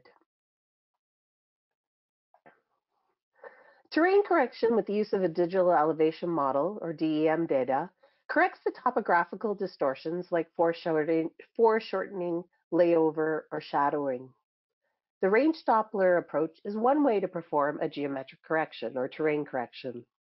This method needs information about the topography, as provided by a DEM, as well as the orbit satellite information to correct the topographic distortions and derive a precise geolocation for each pixel of the image. To process this, you need again to go to the radar, it, radar menu and the geometric dropdown, selecting the terrain correction and then the range Doppler terrain correction method. The range Doppler terrain correction window will open, And again, under the IO parameters, you want to make sure that your source is the speckle filtered parameters and that you've indicated a place for your target output. Under the processing parameter tab, you will need to make sure that the choices of these options, digital elevation model, map projection, are related to your area of interest. In this scenario, we use the SRTM one second HGT DEM, which is available over this part of Canada. And we use a map projection of UTM zone 14 with a WGS 1984, which is related to the area. Once you have chosen the parameters as appropriate to your AOI, you click Run and Close, and the process will be complete. And what you end up with is a geometrically speckle filtered, corrected intensity parameter image. In this scenario, the span image from an RCM July 23rd, 2020, uh, 2020 image over Carman, Manitoba, Canada. As I've noted before in my examples, there are many things that you can do with these parameters for monitoring agriculture. You can use these images in classifications. You can do a correlation analysis with the, the values in relation to biomass and LAI, and you can use them in a time series for assessments of change over the land. This demonstration should help you start to explore SAR data just beyond using simple intensity or backscatter. In our next session, we will demonstrate how to derive polarimetric parameters which consider phase from both dual polarimetric Sentinel-1 imagery and fully polarimetric RCM and SAOCOM time series data. Thank you, Laura, for a wonderful demonstration on intensity-derived parameters for agriculture monitoring. We will now transition to the question and answer session of today's training. Please enter your questions in the question and answer box, and we will get to them in the order they were received. We will post the question and answer document to the training website before the start of next week's training. Below is the contact information for Sarah and Laura, along with links to the training web pages and ARSET's Twitter handle. For those who are interested in getting a jump start with the code we will use in part two to process polarimetry data, we have provided missing sections of the Python code accessible by Jupyter Notebook. The code and data can be found under part one of the training on our website. We recommend that you attempt this before attending part two to better familiarize yourselves with the fully polarimetric imagery.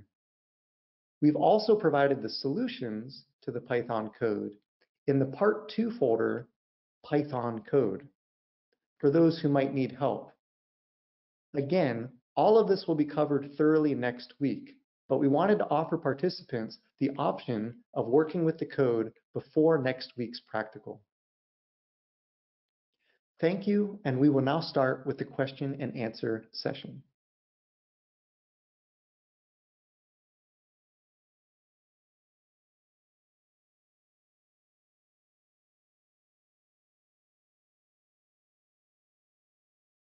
Great, and it looks like we've had some really good questions coming in, so thank you for everybody who has been submitting them. Uh, we can jump right into it. Uh, question number one, what is the difference in the data for signals received in H and V for a same signal sent in V?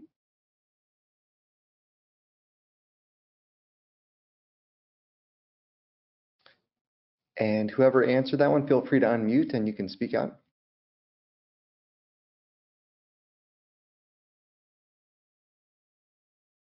So I hope that this answers uh, the question. Uh, hearing it again, I'm not entirely sure, but please feel free to correct me.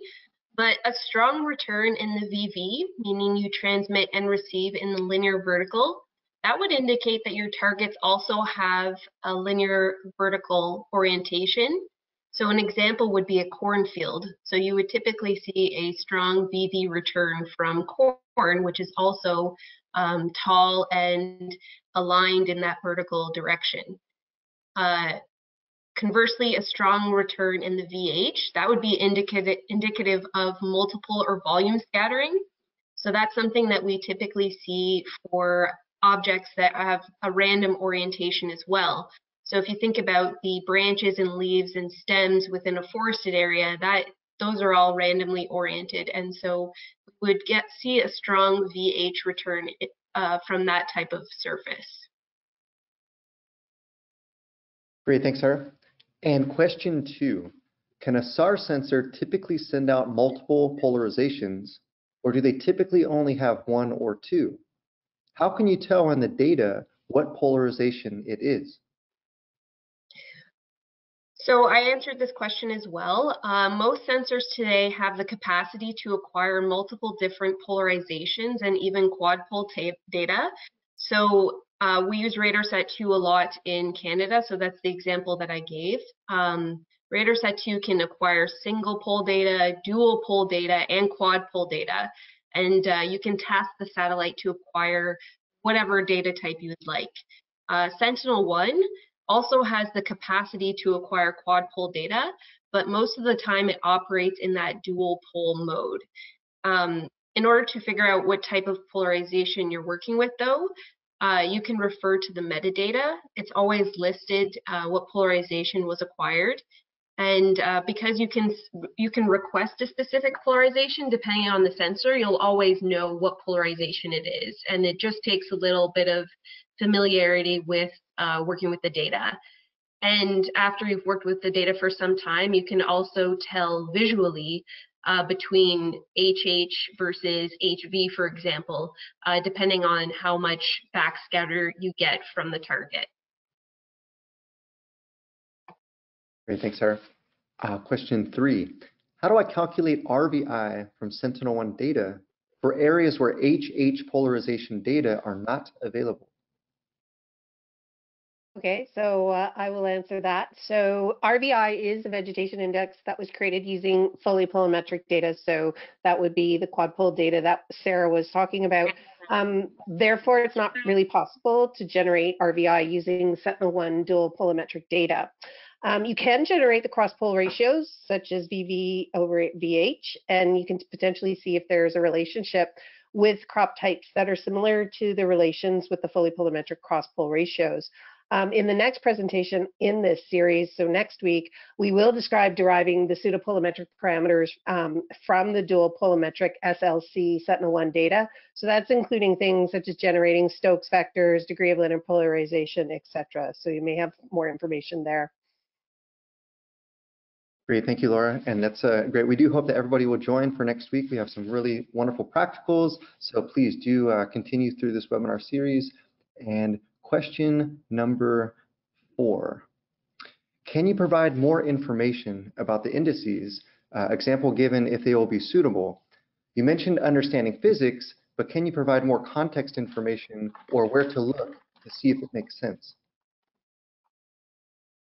Um, yeah, hi, Sean. I, I answered this one. Um, this is Heather McNairn from Agriculture Canada. Um, so a little bit of this comes from experience. Once you get um, more experience working with SAR data, you'll begin to understand um, how waves are interacting with the target. But I just want to give it a, a simple example. So here I'm saying, um, you know, consider how, how do you expect the wave to scatter within the target of interest? So here we're talking about vegetation. And Sarah mentioned, for example, that these types of targets like uh, like crop canopies. They have very random oriented components. So the leaves and stalks are in all kinds of different angles and orientations. And that causes the wave that enters into those targets to either repolarize um, or depolarize. Um, and we know that the cross polarization HV or VH um, are indicative of this type of multiple scattering because of these complex structures. So given this, um, understanding how these waves are scattering, why they're scattering like that in a complex target like vegetation, you should be thinking about ratios or indices or other um, methods that are going to exploit this HV or VH um, intensity backscatter. So RVI is a good example of that. Um, but if you limit yourself, uh, you know, we don't want to, we want to, to really focus on ratios that exploit HV and VH But if you limit yourself to ratios that do not, so you can think about a um, a copol uh, ratio like H H over VV, we're not using the cross pol component here, and you're going to miss important information about the vegetation target. There's been a lot of research published that links the intensity of HV or VH to things like crop biomass and LAI, so we know that there's a sensitivity. Um, so this all links back to um, thinking about how, how are the waves scattering within the vegetation. Think about radar systems that are going to capture this cross-pol um, intensity and, and pick methods and, and ratios and, and other um, um, methodologies that will exploit this cross-polarization. Wonderful, Heather. Thank you so much. And question five, can we choose a DEM of higher resolution instead of SRTM? Okay, so that was me. It's Laura again. Um, absolutely. Um, you should consider and use the DEM that is most appropriate for your area and provides the highest resolution. So that that just depends on where your area of interest is and, and that you should be looking um, for that for your specific uh, area of interest. You can um, use a, a, a, downloaded and out uh, a DM that is outside of sort of the SNAP list of options. So you can, if you have a higher resolution DM, then you can use that as uh, as an external source. So be sure to look into that for your area of interest because in some scenarios the DEMs that are actually available on SNAP don't ex, uh, actually cover all areas. So you, you want to make sure that, that your area is covered and that you're using the highest resolution DEM that you possibly use. Great, thanks, Laura. And question six. I would like to know which, oh, please go ahead. Sorry, Sean, go ahead. Well, I- I'm sorry, Heather, did you have anything you wanted to add to the answer for question? No, one? I'm sorry. Go ahead and ask the question. I was going to answer before you stated the question. Go Oh, ahead. Okay, no problem. That's great. So question six, I would like to know which criteria should be considered to choose the most adequate speckle filter. In the example, the gamma filter was chosen. Why this one? Um, okay, so uh, it's Heather again. If you go back to the um, some of the, uh, the the previous webinars that we we delivered on Radar Basics, we talk a lot about filtering and different uh, types of filters that you can choose. The most important thing here is that you choose a radar filter that respects the statistics of the radar scattering, but also suppresses or reduces the noise. So you have to choose one of these radar adaptive filters. And there are several of them available. Again, you can go back to the, the background material we delivered previously to take a look at them. Gamma is one that's widely used. It's a radar adaptive filter. It tends to respect or preserve edges, so field edges, for example.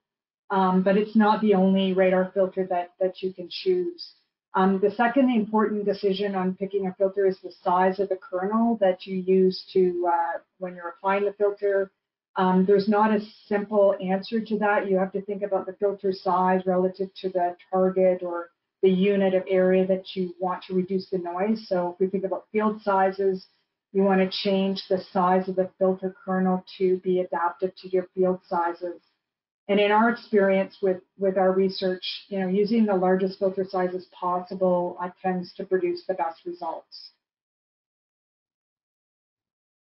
Wonderful. Thank you, Heather. Uh, question seven, can we apply polarimetric parameters, uh, ratios, RV, et cetera, after pre-processing of the data, like speckle, filtering, terrain and radiometric correcting and subsetting? Or is it to be applied before these steps, excuse me, as told here? What could be the differences between the two results? Okay, so that's me again. That's Laura. Um, so we generally follow these steps uh, that we presented here to process the data um, and generate these um, these parameters. So these intensity derived parameters. Um, that's um, we've done uh, completed research in the past um, for order of operations of pre-processing, um, particularly just for generating intensity or backscatter. Um, this was for our crop classification pre-processing.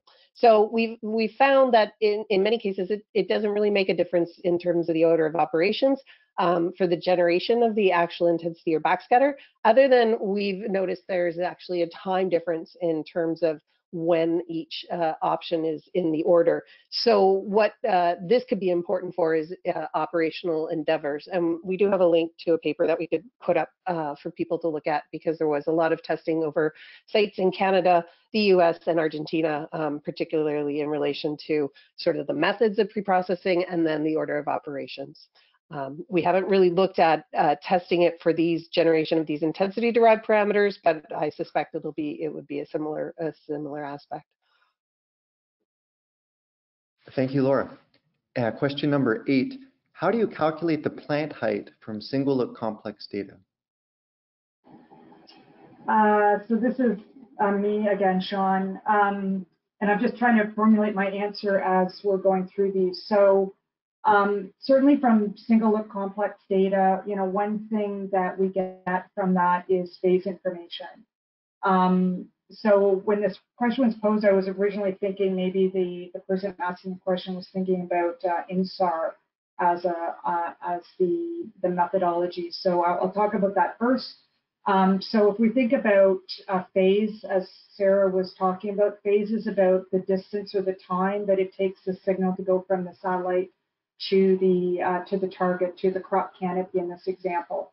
Um, and so if that if that time or distance changes, um, that tells us that the that the uh, the target the height of the target is changing. So INSAR is used for these types of things. So changes in deformation of the Earth's surface, for example. Um, so you can, you know, sometimes we think, could we use INSAR to look at how crops are growing? So we know as crops grow, they get higher and the distance from the the radar um, antenna to the to the top of the canopy changes. Um, this can be a bit tricky though because we have this issue about decorrelation over time. Um, so you can think about, you know, when the crops are growing, uh, it's not just the height that's that's changing, but how the leaves are oriented can change because we can have wind occurring, um, or the crop canopy is just filling out, and so we can get this temporal decorrelation. So using INSAR to measure crop height can be a bit tricky um, unless we have good uh, correlation, uh, um, uh, phase correlation over time. If you think about big canopies, and one uh, type of canopy we're looking at are bananas.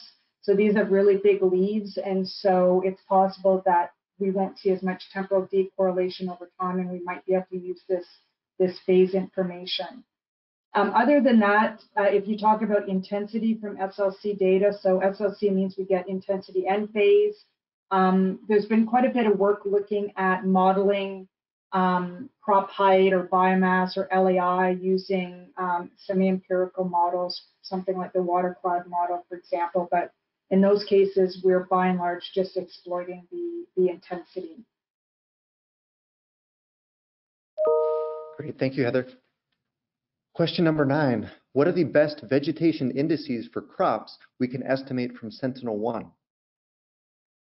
Okay, so this is me again. Um, we have yet to really start looking at sort of these vegetation indices derived from Sentinel-1 um, in our own research, um, uh, but obviously have started to look at uh, vegetation indices derived from fully polarimetric data, including such uh, data as RADARSat-2 and RCM data. Um, and as, as I've mentioned in the past, we can look and provide links to papers on, on that research as well. For the Sentinel-1 data, um, I think it would be best in if someone was really interested in trying to understand vegetation indices, is to start looking in the literature and then, of course, testing in the area of interest, because of course, that's kind of what we do in research is just try to figure out what, what works well and where and when. So uh, for that, I, I think we'll, we'd have to go with that answer. Thank you, Laura.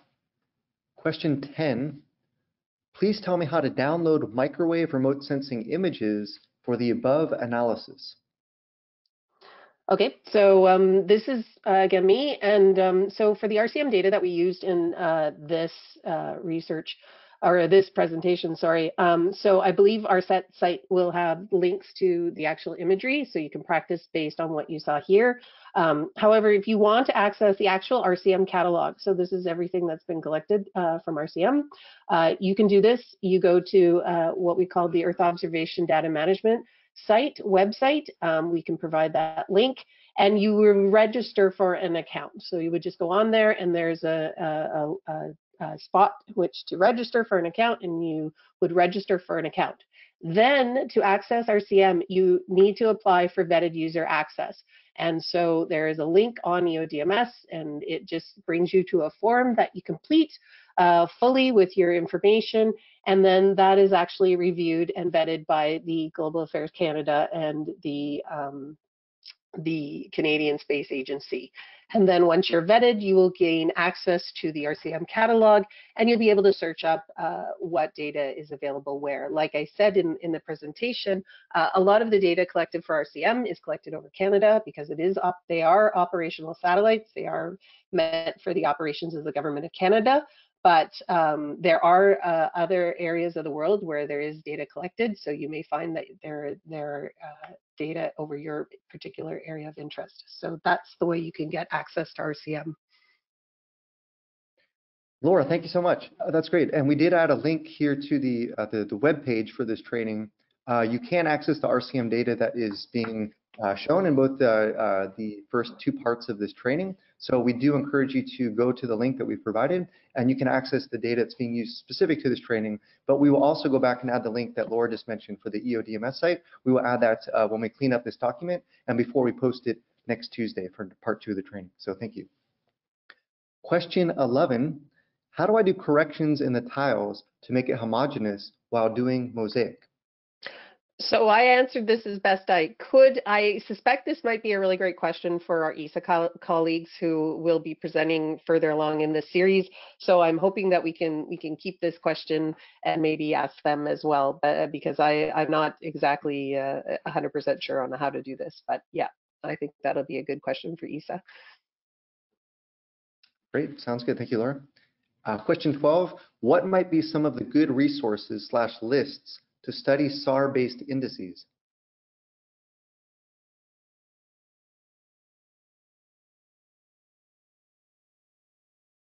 Sorry, that was me. Um, Laura, Heather, and I, and Dr. Gopika Suresh, we uh, we work um, to collaboratively to uh, keep a running list of multiple SAR training resources as part of our work as the Sisters of SAR on Twitter. So I've just put a link to um, our website and you can go ahead and check it out. There are a ton of different resources that are available nowadays. So there's tons of stuff online you can find. Great, thanks, Sarah. Question 13, does RVI correlate with NDVI? Where does it fail? Uh, so this is Heather again. Um, so uh, we've looked at this quite a bit in our research group, and the strength of the correlation between RVI and NDVI um, has varied. So we have noted that for some crops, the correlations are, are pretty strong, and for other crops, they're not as well correlated. So the question is, why would some crops work better than others? Uh, so again, think about the fact that RVI uses um, two uh, copol linear polarizations, HH and VV. And we know in particular HH is not a particularly useful polarization uh, for crops. Um, there are some crops like forage crops, so you can think about pastures and alfalfa. Um, there's a better correlation with HH for those crops. But other field crops like corn, soybeans, wheat, these types of crops, um, the HH backscatter is, is not very useful and can often confuse the situation. So RVI uses HH, and so that this is why sometimes we get better correlations with some crops than others. Um, and I just added in the comments that um, we are in the process of developing a radar vegetation index. Our team is, others are as well. Um, and really, we're focusing on the polarimetric parameters that are sensitive to volume scattering. So recall what Sarah's talking about. Think about how the waves are scattering in the target. Um, so these vegetation indices are really exploiting those um, parameters like the cross-pol intensity we talked about, parameters like entropy, um, and, and even some of the decomposition parameters like volume scattering. Great, thanks, Heather. Question 14. Is there any non-negligible impact of wind and other weather conditions over intensity and polarization returns? And if so, how can we eliminate them? Uh, so I started to answer this, but I think maybe Heather might have a better idea for um, agricultural areas, but I just wanted to add here that uh, these effects are really dependent on the target. So hard targets, specifically like a building, it wouldn't be affected by the wind or weather conditions, but vegetation can be. Wind can actually change the orientation of the vegetation, and that can in turn affect uh, the backscatter that you receive at the sensor. Uh, if your canopy is wet as well, this can also affect your data, and it can be difficult to uh, sort of remove the effects.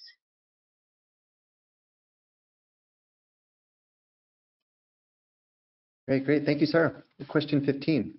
The RVI formula uses sigma naught data, but the calibration in the example output complex numbers.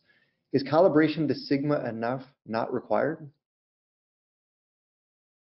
I'm not entirely sure that I, I understand this question either, so please uh, feel free to correct me. But uh, I was just going to say that uh, sigma naught is the radar reflectivity per unit area on the ground. So it reflects how the data are calibrated, and that's sort of different how how we express them in terms of phase and intensity, which is with complex numbers. Thank you, Sarah. Question 16. Can those parameters be calculated with RadarSat 2?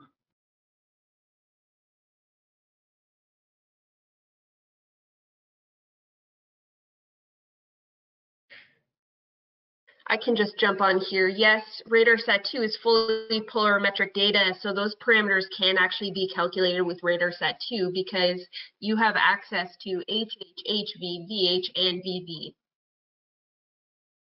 Thank you, Sarah. Question 17, how can cross-pol power and volume scattering power be analyzed over agricultural fields? Uh, sure, I can I can try to answer this one. So again, you know, think back to crop canopies and, and how different they are in their structures. So if you think about a corn canopy or a rice canopy um, or or a forage canopy, you know, the the size and orientation of these the leaves and stalks are quite different, and that's going to create different amounts of volume scattering, whether that's measured through the intensity of a cross-pol channel like HV or VH, or whether that we do that through volume scattering um, that we can get from some of these decompositions.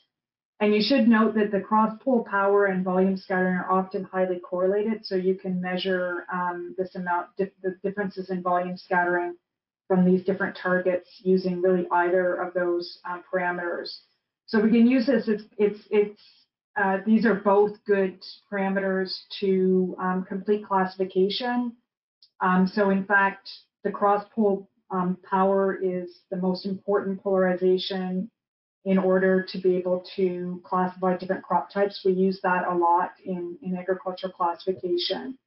Um, if you're looking for other uh, parameters like biomass or LAI, this is usually done through some sort of um, uh, modeling uh, the water cloud model is one that many have used, including my team. And, and in that case, you know, we're primarily looking at things like volume scattering or cross-pol scattering, and we're creating a model between uh, field measured data and the, the amount of scattering, whether it's measured through cross-pol or volume scattering.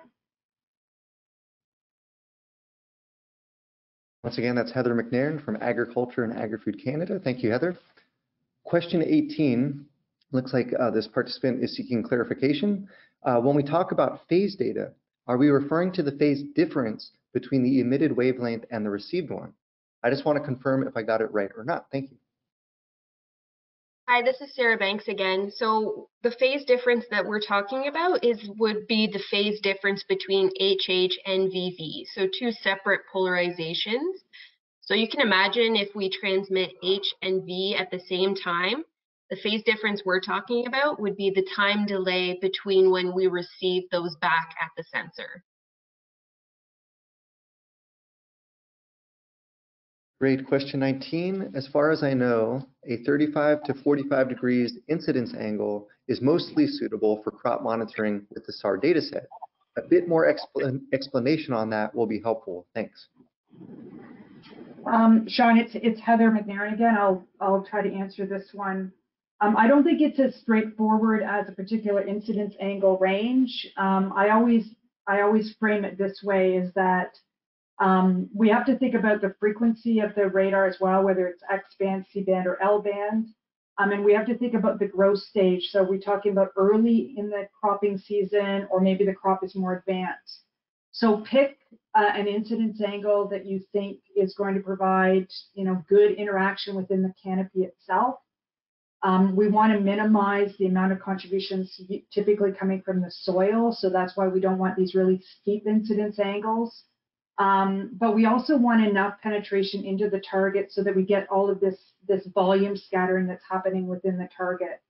So I think the, the, the person who, asked this question is, is in the ballpark. I think we want these shallower angles that provide a scattering within the volume, but, but think about the size of your canopy, what the crop type is, the growth stage, um, as well as the frequency. So pick an angle where we have penetration into the canopy, um, deep enough into the canopy to, to interact with the canopy structure, but not uh, um, penetrating so far that we're getting these contributions from the soil.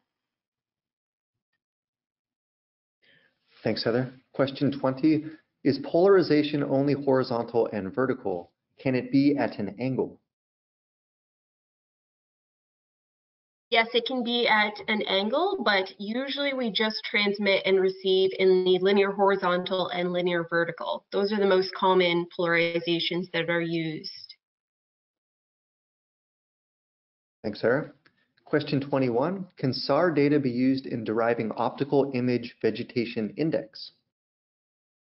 Okay, so that was me. So as Heather mentioned, we are looking at uh, working on a SAR vegetation indice that's uh, looking or being derived from fully polarimetric data and in particularly uh, those parameters relating to the volume scattering.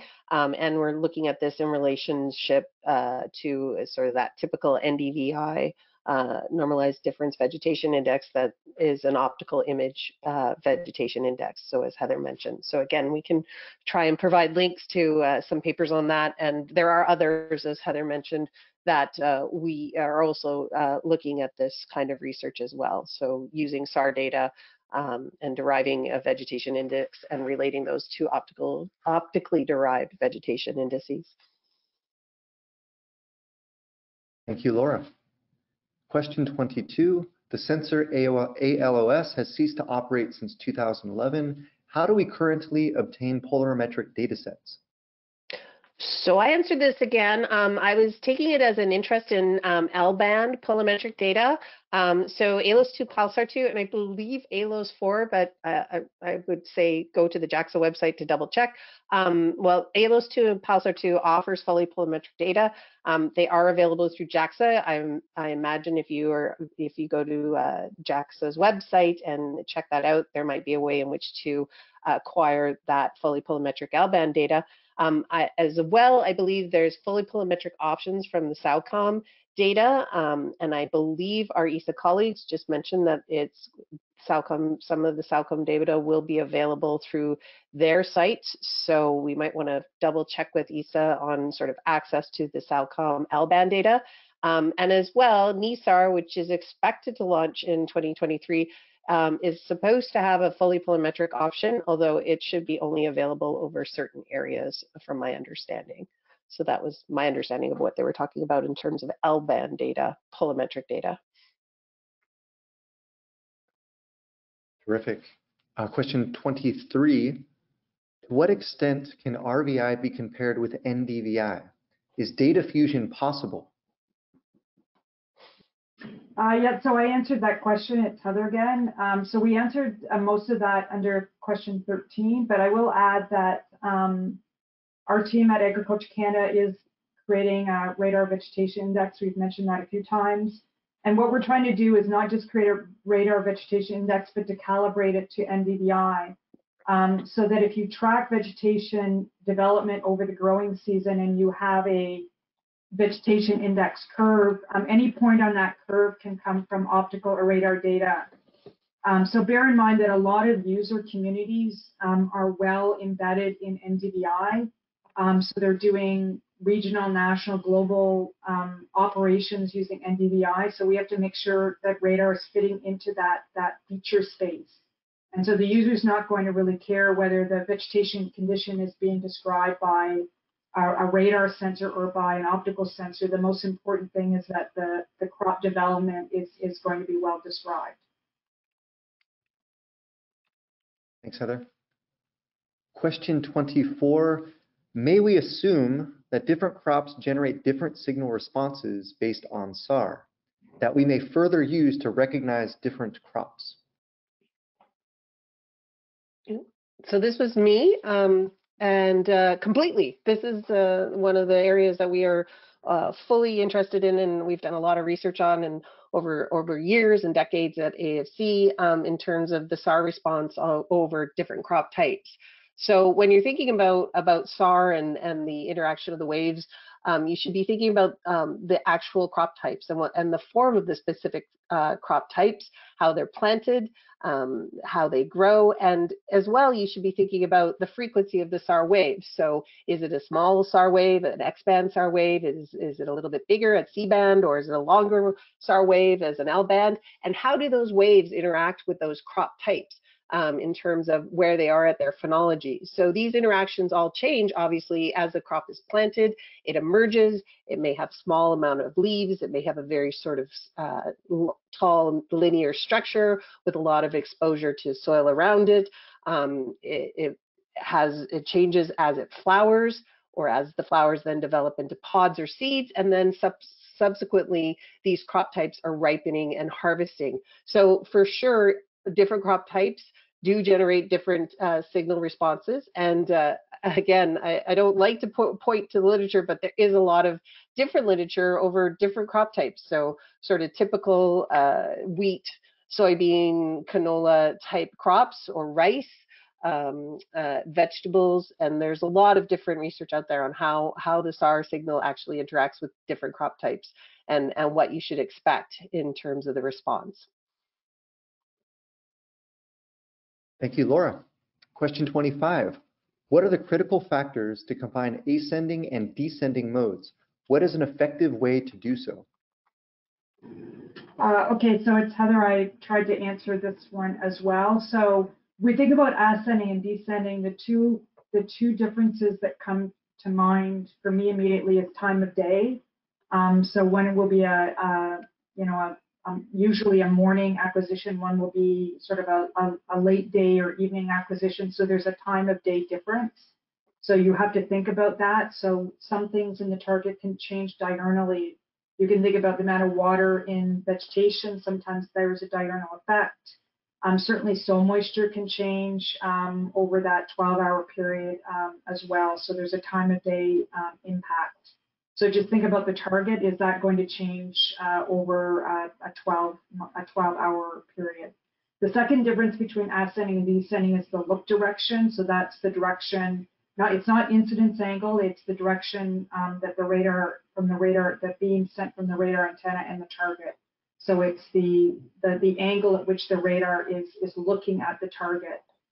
And uh, if you have a target that doesn't have any structure in it, this probably won't be an issue. So think about a pasture field. There's not really any structure um, or periodic structure in that, so probably not an issue. But think about a, a situation where you have crops that are growing in rows. So um, corn, for example, or wheat, uh, where we have a specific orientation of these rows, or if we're tilling a field and we have uh, furrows in the field or even seeding. Sometimes we seed in these, these seed beds that have an orientation. So now you can think about the look angle uh, between the radar antenna and, and the target is going to change because we're looking at it um, at a different angle, and that may or may not uh, impact the radar scattering. Uh, so I think uh, it's important to think about those things and what impact that might have.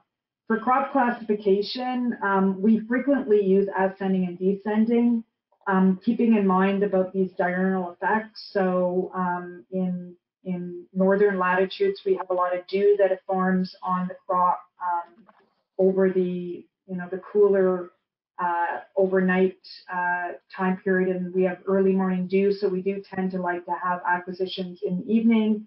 But the temporal domain is really important. So if you combine ascending and descending, you're trading uh, off a little bit about this dew effect to having a really denser coverage of acquisitions. So for crop classification, we've combined both ascending and descending, um, and we don't worry so much about those differences.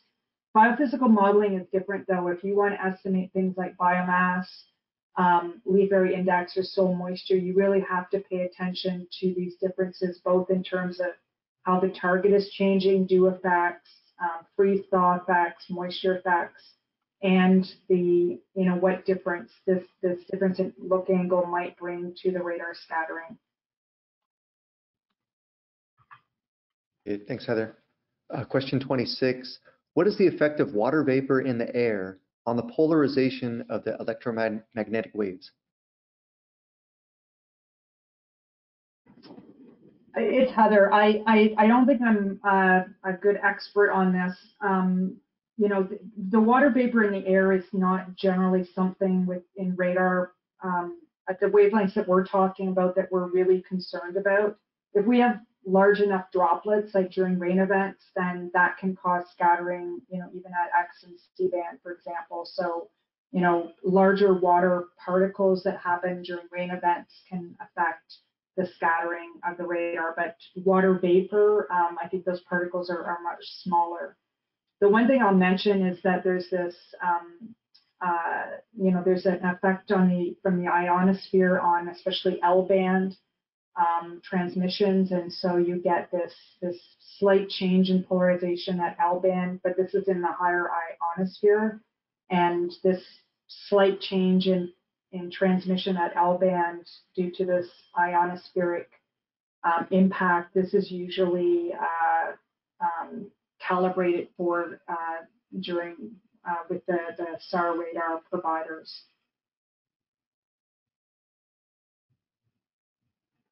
Great. And in question 27, can SNAP be used to monitor carbon sequestration? Hi, this is Sarah. Uh, so there's quite a bit of research on this uh, for estimating above ground biomass. And so that would be an indicator of carbon using SAR. And that's especially with longer wavelength L and P band, L and P band data and that's because they're able to effectively penetrate into the canopy, providing information on its structure. These data aren't widely available though. You can find some archive data through JAXA, some L-band archive data, and there's new missions coming up called Biomass and NISAR, which will provide longer wavelength L and P band data that will be free and open.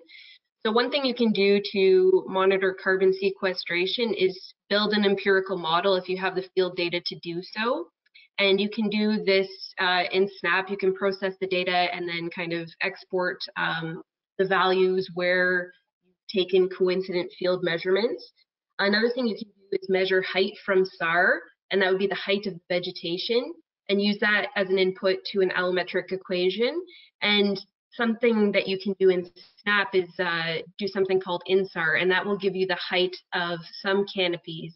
And the effectiveness with which this works will really depend on a number of different parameters, like Heather was mentioning. You have to think about the wavelength. Um, so if you're trying to measure the, the height of the canopy, use something like X band, which doesn't penetrate very deep into the canopy, but um, yeah, it's something that's definitely possible with SAR. Great, thanks, Sarah. Question 28. How do we choose between gamma and sigma transformation? Okay, so I, I answer this. Um, so typically in agriculture applications, we utilize the sigma naught conversion um, because it's understandable in relation to the ground. So it's a measure of the, um, uh, it's a measure in relation to the unit area on the ground. Um, from our understanding, gamma naught's typically more used for calibration as the range cell is equally distanced to the satellite, so both the near and far range are equally bright. Um, there may be instances where it's useful to use a gamma naught transformation, but but typically um, we in RSR applications for agriculture, we have been utilizing a sigma naught transformation. Thanks, Laura. Question 29. Does Snap only work with full granule slash tiles as the initial input? Is there any way to take advantage of COG partial reads to read and process only a subset of a Sentinel-1 granule slash tile? Uh, so I hope I'm, I'm understanding this question right, but um, actually next week um, in the uh, trainings next week, we will be describing how to minimize the amount of a Sentinel-1 image um, that you need to use for deriving the pseudopolarimetric parameters. So that's including reducing the data to specific subswaths of an interferometric wide swath uh, image. So there's three subswaths and also to minimize to actual individual bursts within an individual subswath. So we do show next week on how to actually do that, that type of processing because the, the images are, Sentinel-1 images are really quite large and they do take a long time to process if you're trying to use the full image, obviously. Yeah, thank you so much. And, and please do join us next week where Laura will continue with this practical and, and demonstrate this. So uh, please, we hope to see you next Tuesday. Uh, question 30, can these processes, pre-processing, be implemented in Google Earth Engine? I answered that, and uh, I think the short answer is it, it depends on what you want to do. Uh, Google Earth Engine currently, as far as I know, uh, only provides the ground range detected data. And as I mentioned in my presentation, uh, that you do not have phase information with that.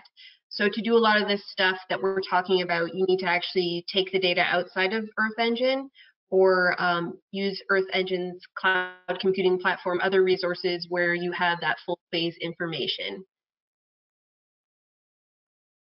Thanks, Sarah. Question 31, is the biomass index accurate if data comes from a sensor with a short wavelength, example given Sentinel-1 with a five centimeter wavelength? Uh, so Heather, I answered this one. Um, uh, so to be uh, fully candid with you, the only um, vegetation index within SNAP that we've uh, worked on, our team is, is RVI. So I'm, I'm just going to limit my comments to RVI. Um, but with RVI, we've certainly evaluated its use using C-band SAR data, both RadarSat and um, Sentinel-1. But as a, as a general comment, um, you really have to can always go back to you know that that size of the wavelength, the um, the wavelength or the frequency of the transmitted wave, and and and think about how that size relates to the size of the canopy um, for example, the total biomass. Um, and we know that canopies have different amounts of biomass. So if you look at one crop type to another crop type, the, the amount of biomass is different. And we know that the biomass changes over the season. So from the beginning, the middle to the end of the season. And so it's a pretty complicated target we're looking at, variations in biomass over time and over space. Um, and in, so in, in that case, I think the, the biggest dividends, the most advancement that we will see in measuring biomass uh, for crops will be when we start to integrate uh, radar from different frequencies.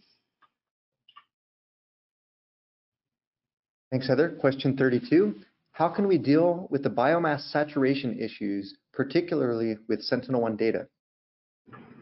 So I answered this one as well, um, and there really is no um, simple answer to this, or there's no immediate solution. Again, it gets back to what I was just stating. Um, there's just a, a, fundamental physics behind how far these waves can penetrate um, into a target uh, when we look at the size of the transmitted wave to the size of the canopy. So C-band uh, will only get so far into those canopies, and as the canopies grow over the season, we get this saturation effect. Um, and really, again, our solution is to look at multi-frequency radar. And I think someone just mentioned NISAR, which will be coming up shortly. Um, and so I think this is going to be a really great opportunity to integrate sensors like NISAR with, with Sentinel-1, for example. And we were, we are going to see big dividends, and that will help address some of these saturation issues.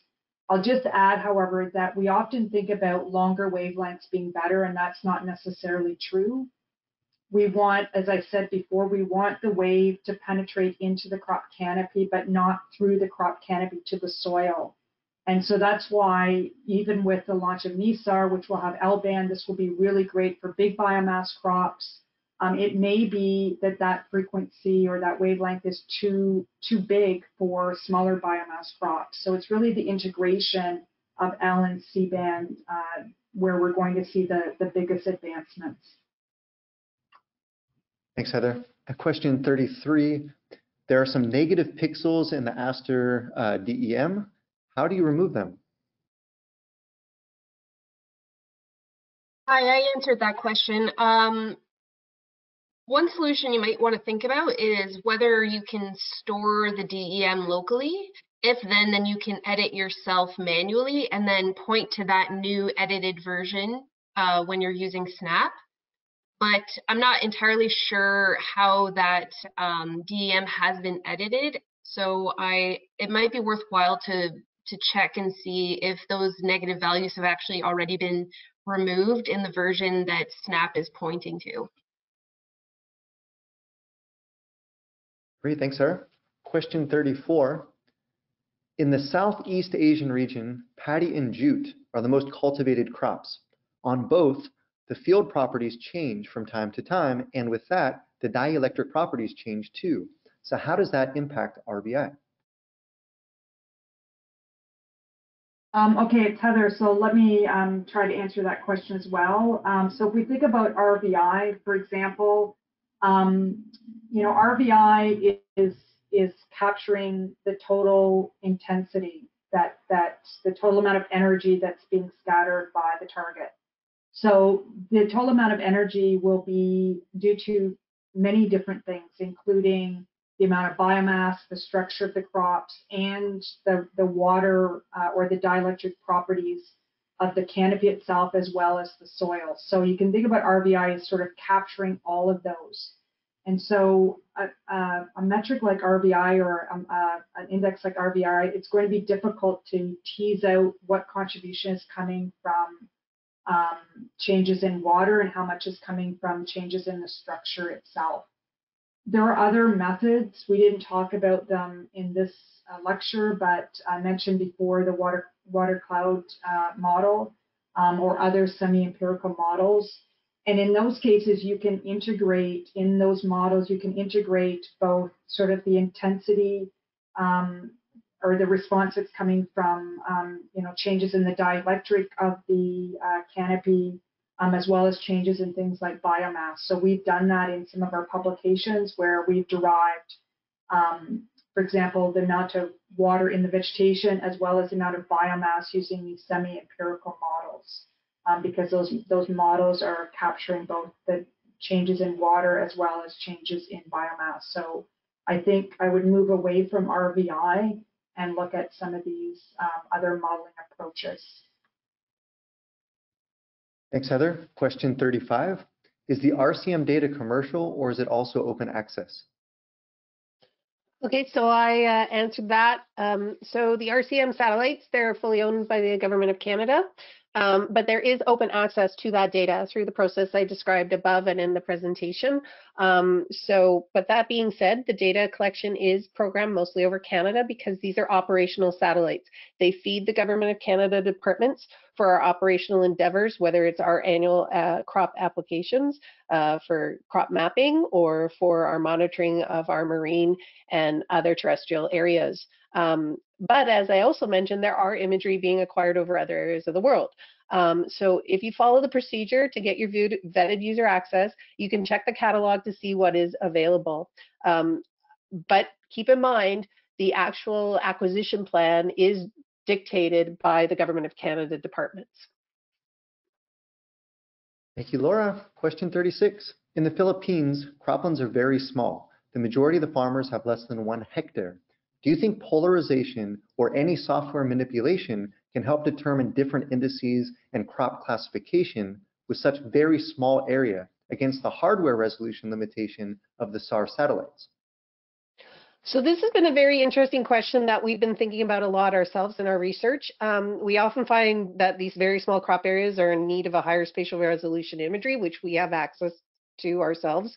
Um, but there are other options that we think that uh, will help with crop classifications in these, these types of areas, um, such as these polarimetric parameters or using multi-frequency SAR, which both Heather and I believe Sarah have talked about, um, along with classifiers, so you have to think about the classifier you're using if you're trying to do a crop classification, that will take into account sort of these very complex cropping systems, these small areas, these uh, um, dual in intercropping uh, type uh, uh, agriculture systems, these long-term uh, temporal periods in which crops are planted or when they're being harvested. So we're looking at particularly uh, methods like deep learning methodologies such as neural networks, um, artificial intelligence, um, and we have been looking in areas in the world that have very complex cropping system uh, with small fields, and we're finding better classification results when we're using the polarimetric parameters and when we're including things like multi-frequency data in a classifier that can handle the complexity of the situation. Great, thank you, Laura. And looking at the time, uh, we're almost at the 30 mark. So we do want to respect the time and, and end uh, as we as we stated that we would. But I first want to thank everybody for joining today. For all the participants, wherever you're joining from, uh, we hope you got a lot out of the first part of this training, and we hope you'll join us next week, next Tuesday, for part two of the training, where we will continue with today's practical. Uh, and we also want to thank Sarah Banks from Environment and Climate Change Canada, as well as Laura Dingle Robertson from Agriculture and Agri-Food Canada, and finally, uh, Heather McNairn from the Agriculture and Agri-Food Canada for joining us today and providing such amazing presentations and doing such a thorough job in answering your questions. So thank you for them. And we will, uh, for those questions that we were not able to get to, uh, we know that there's still a handful left. We will answer them and put this on the website and that will be accessible uh, before next Tuesday. So for those that uh, did not get their question answered, please do go to the website before next Tuesday to, to, to look for that. But thank you everybody again and we look forward to seeing you next Tuesday. Thank you.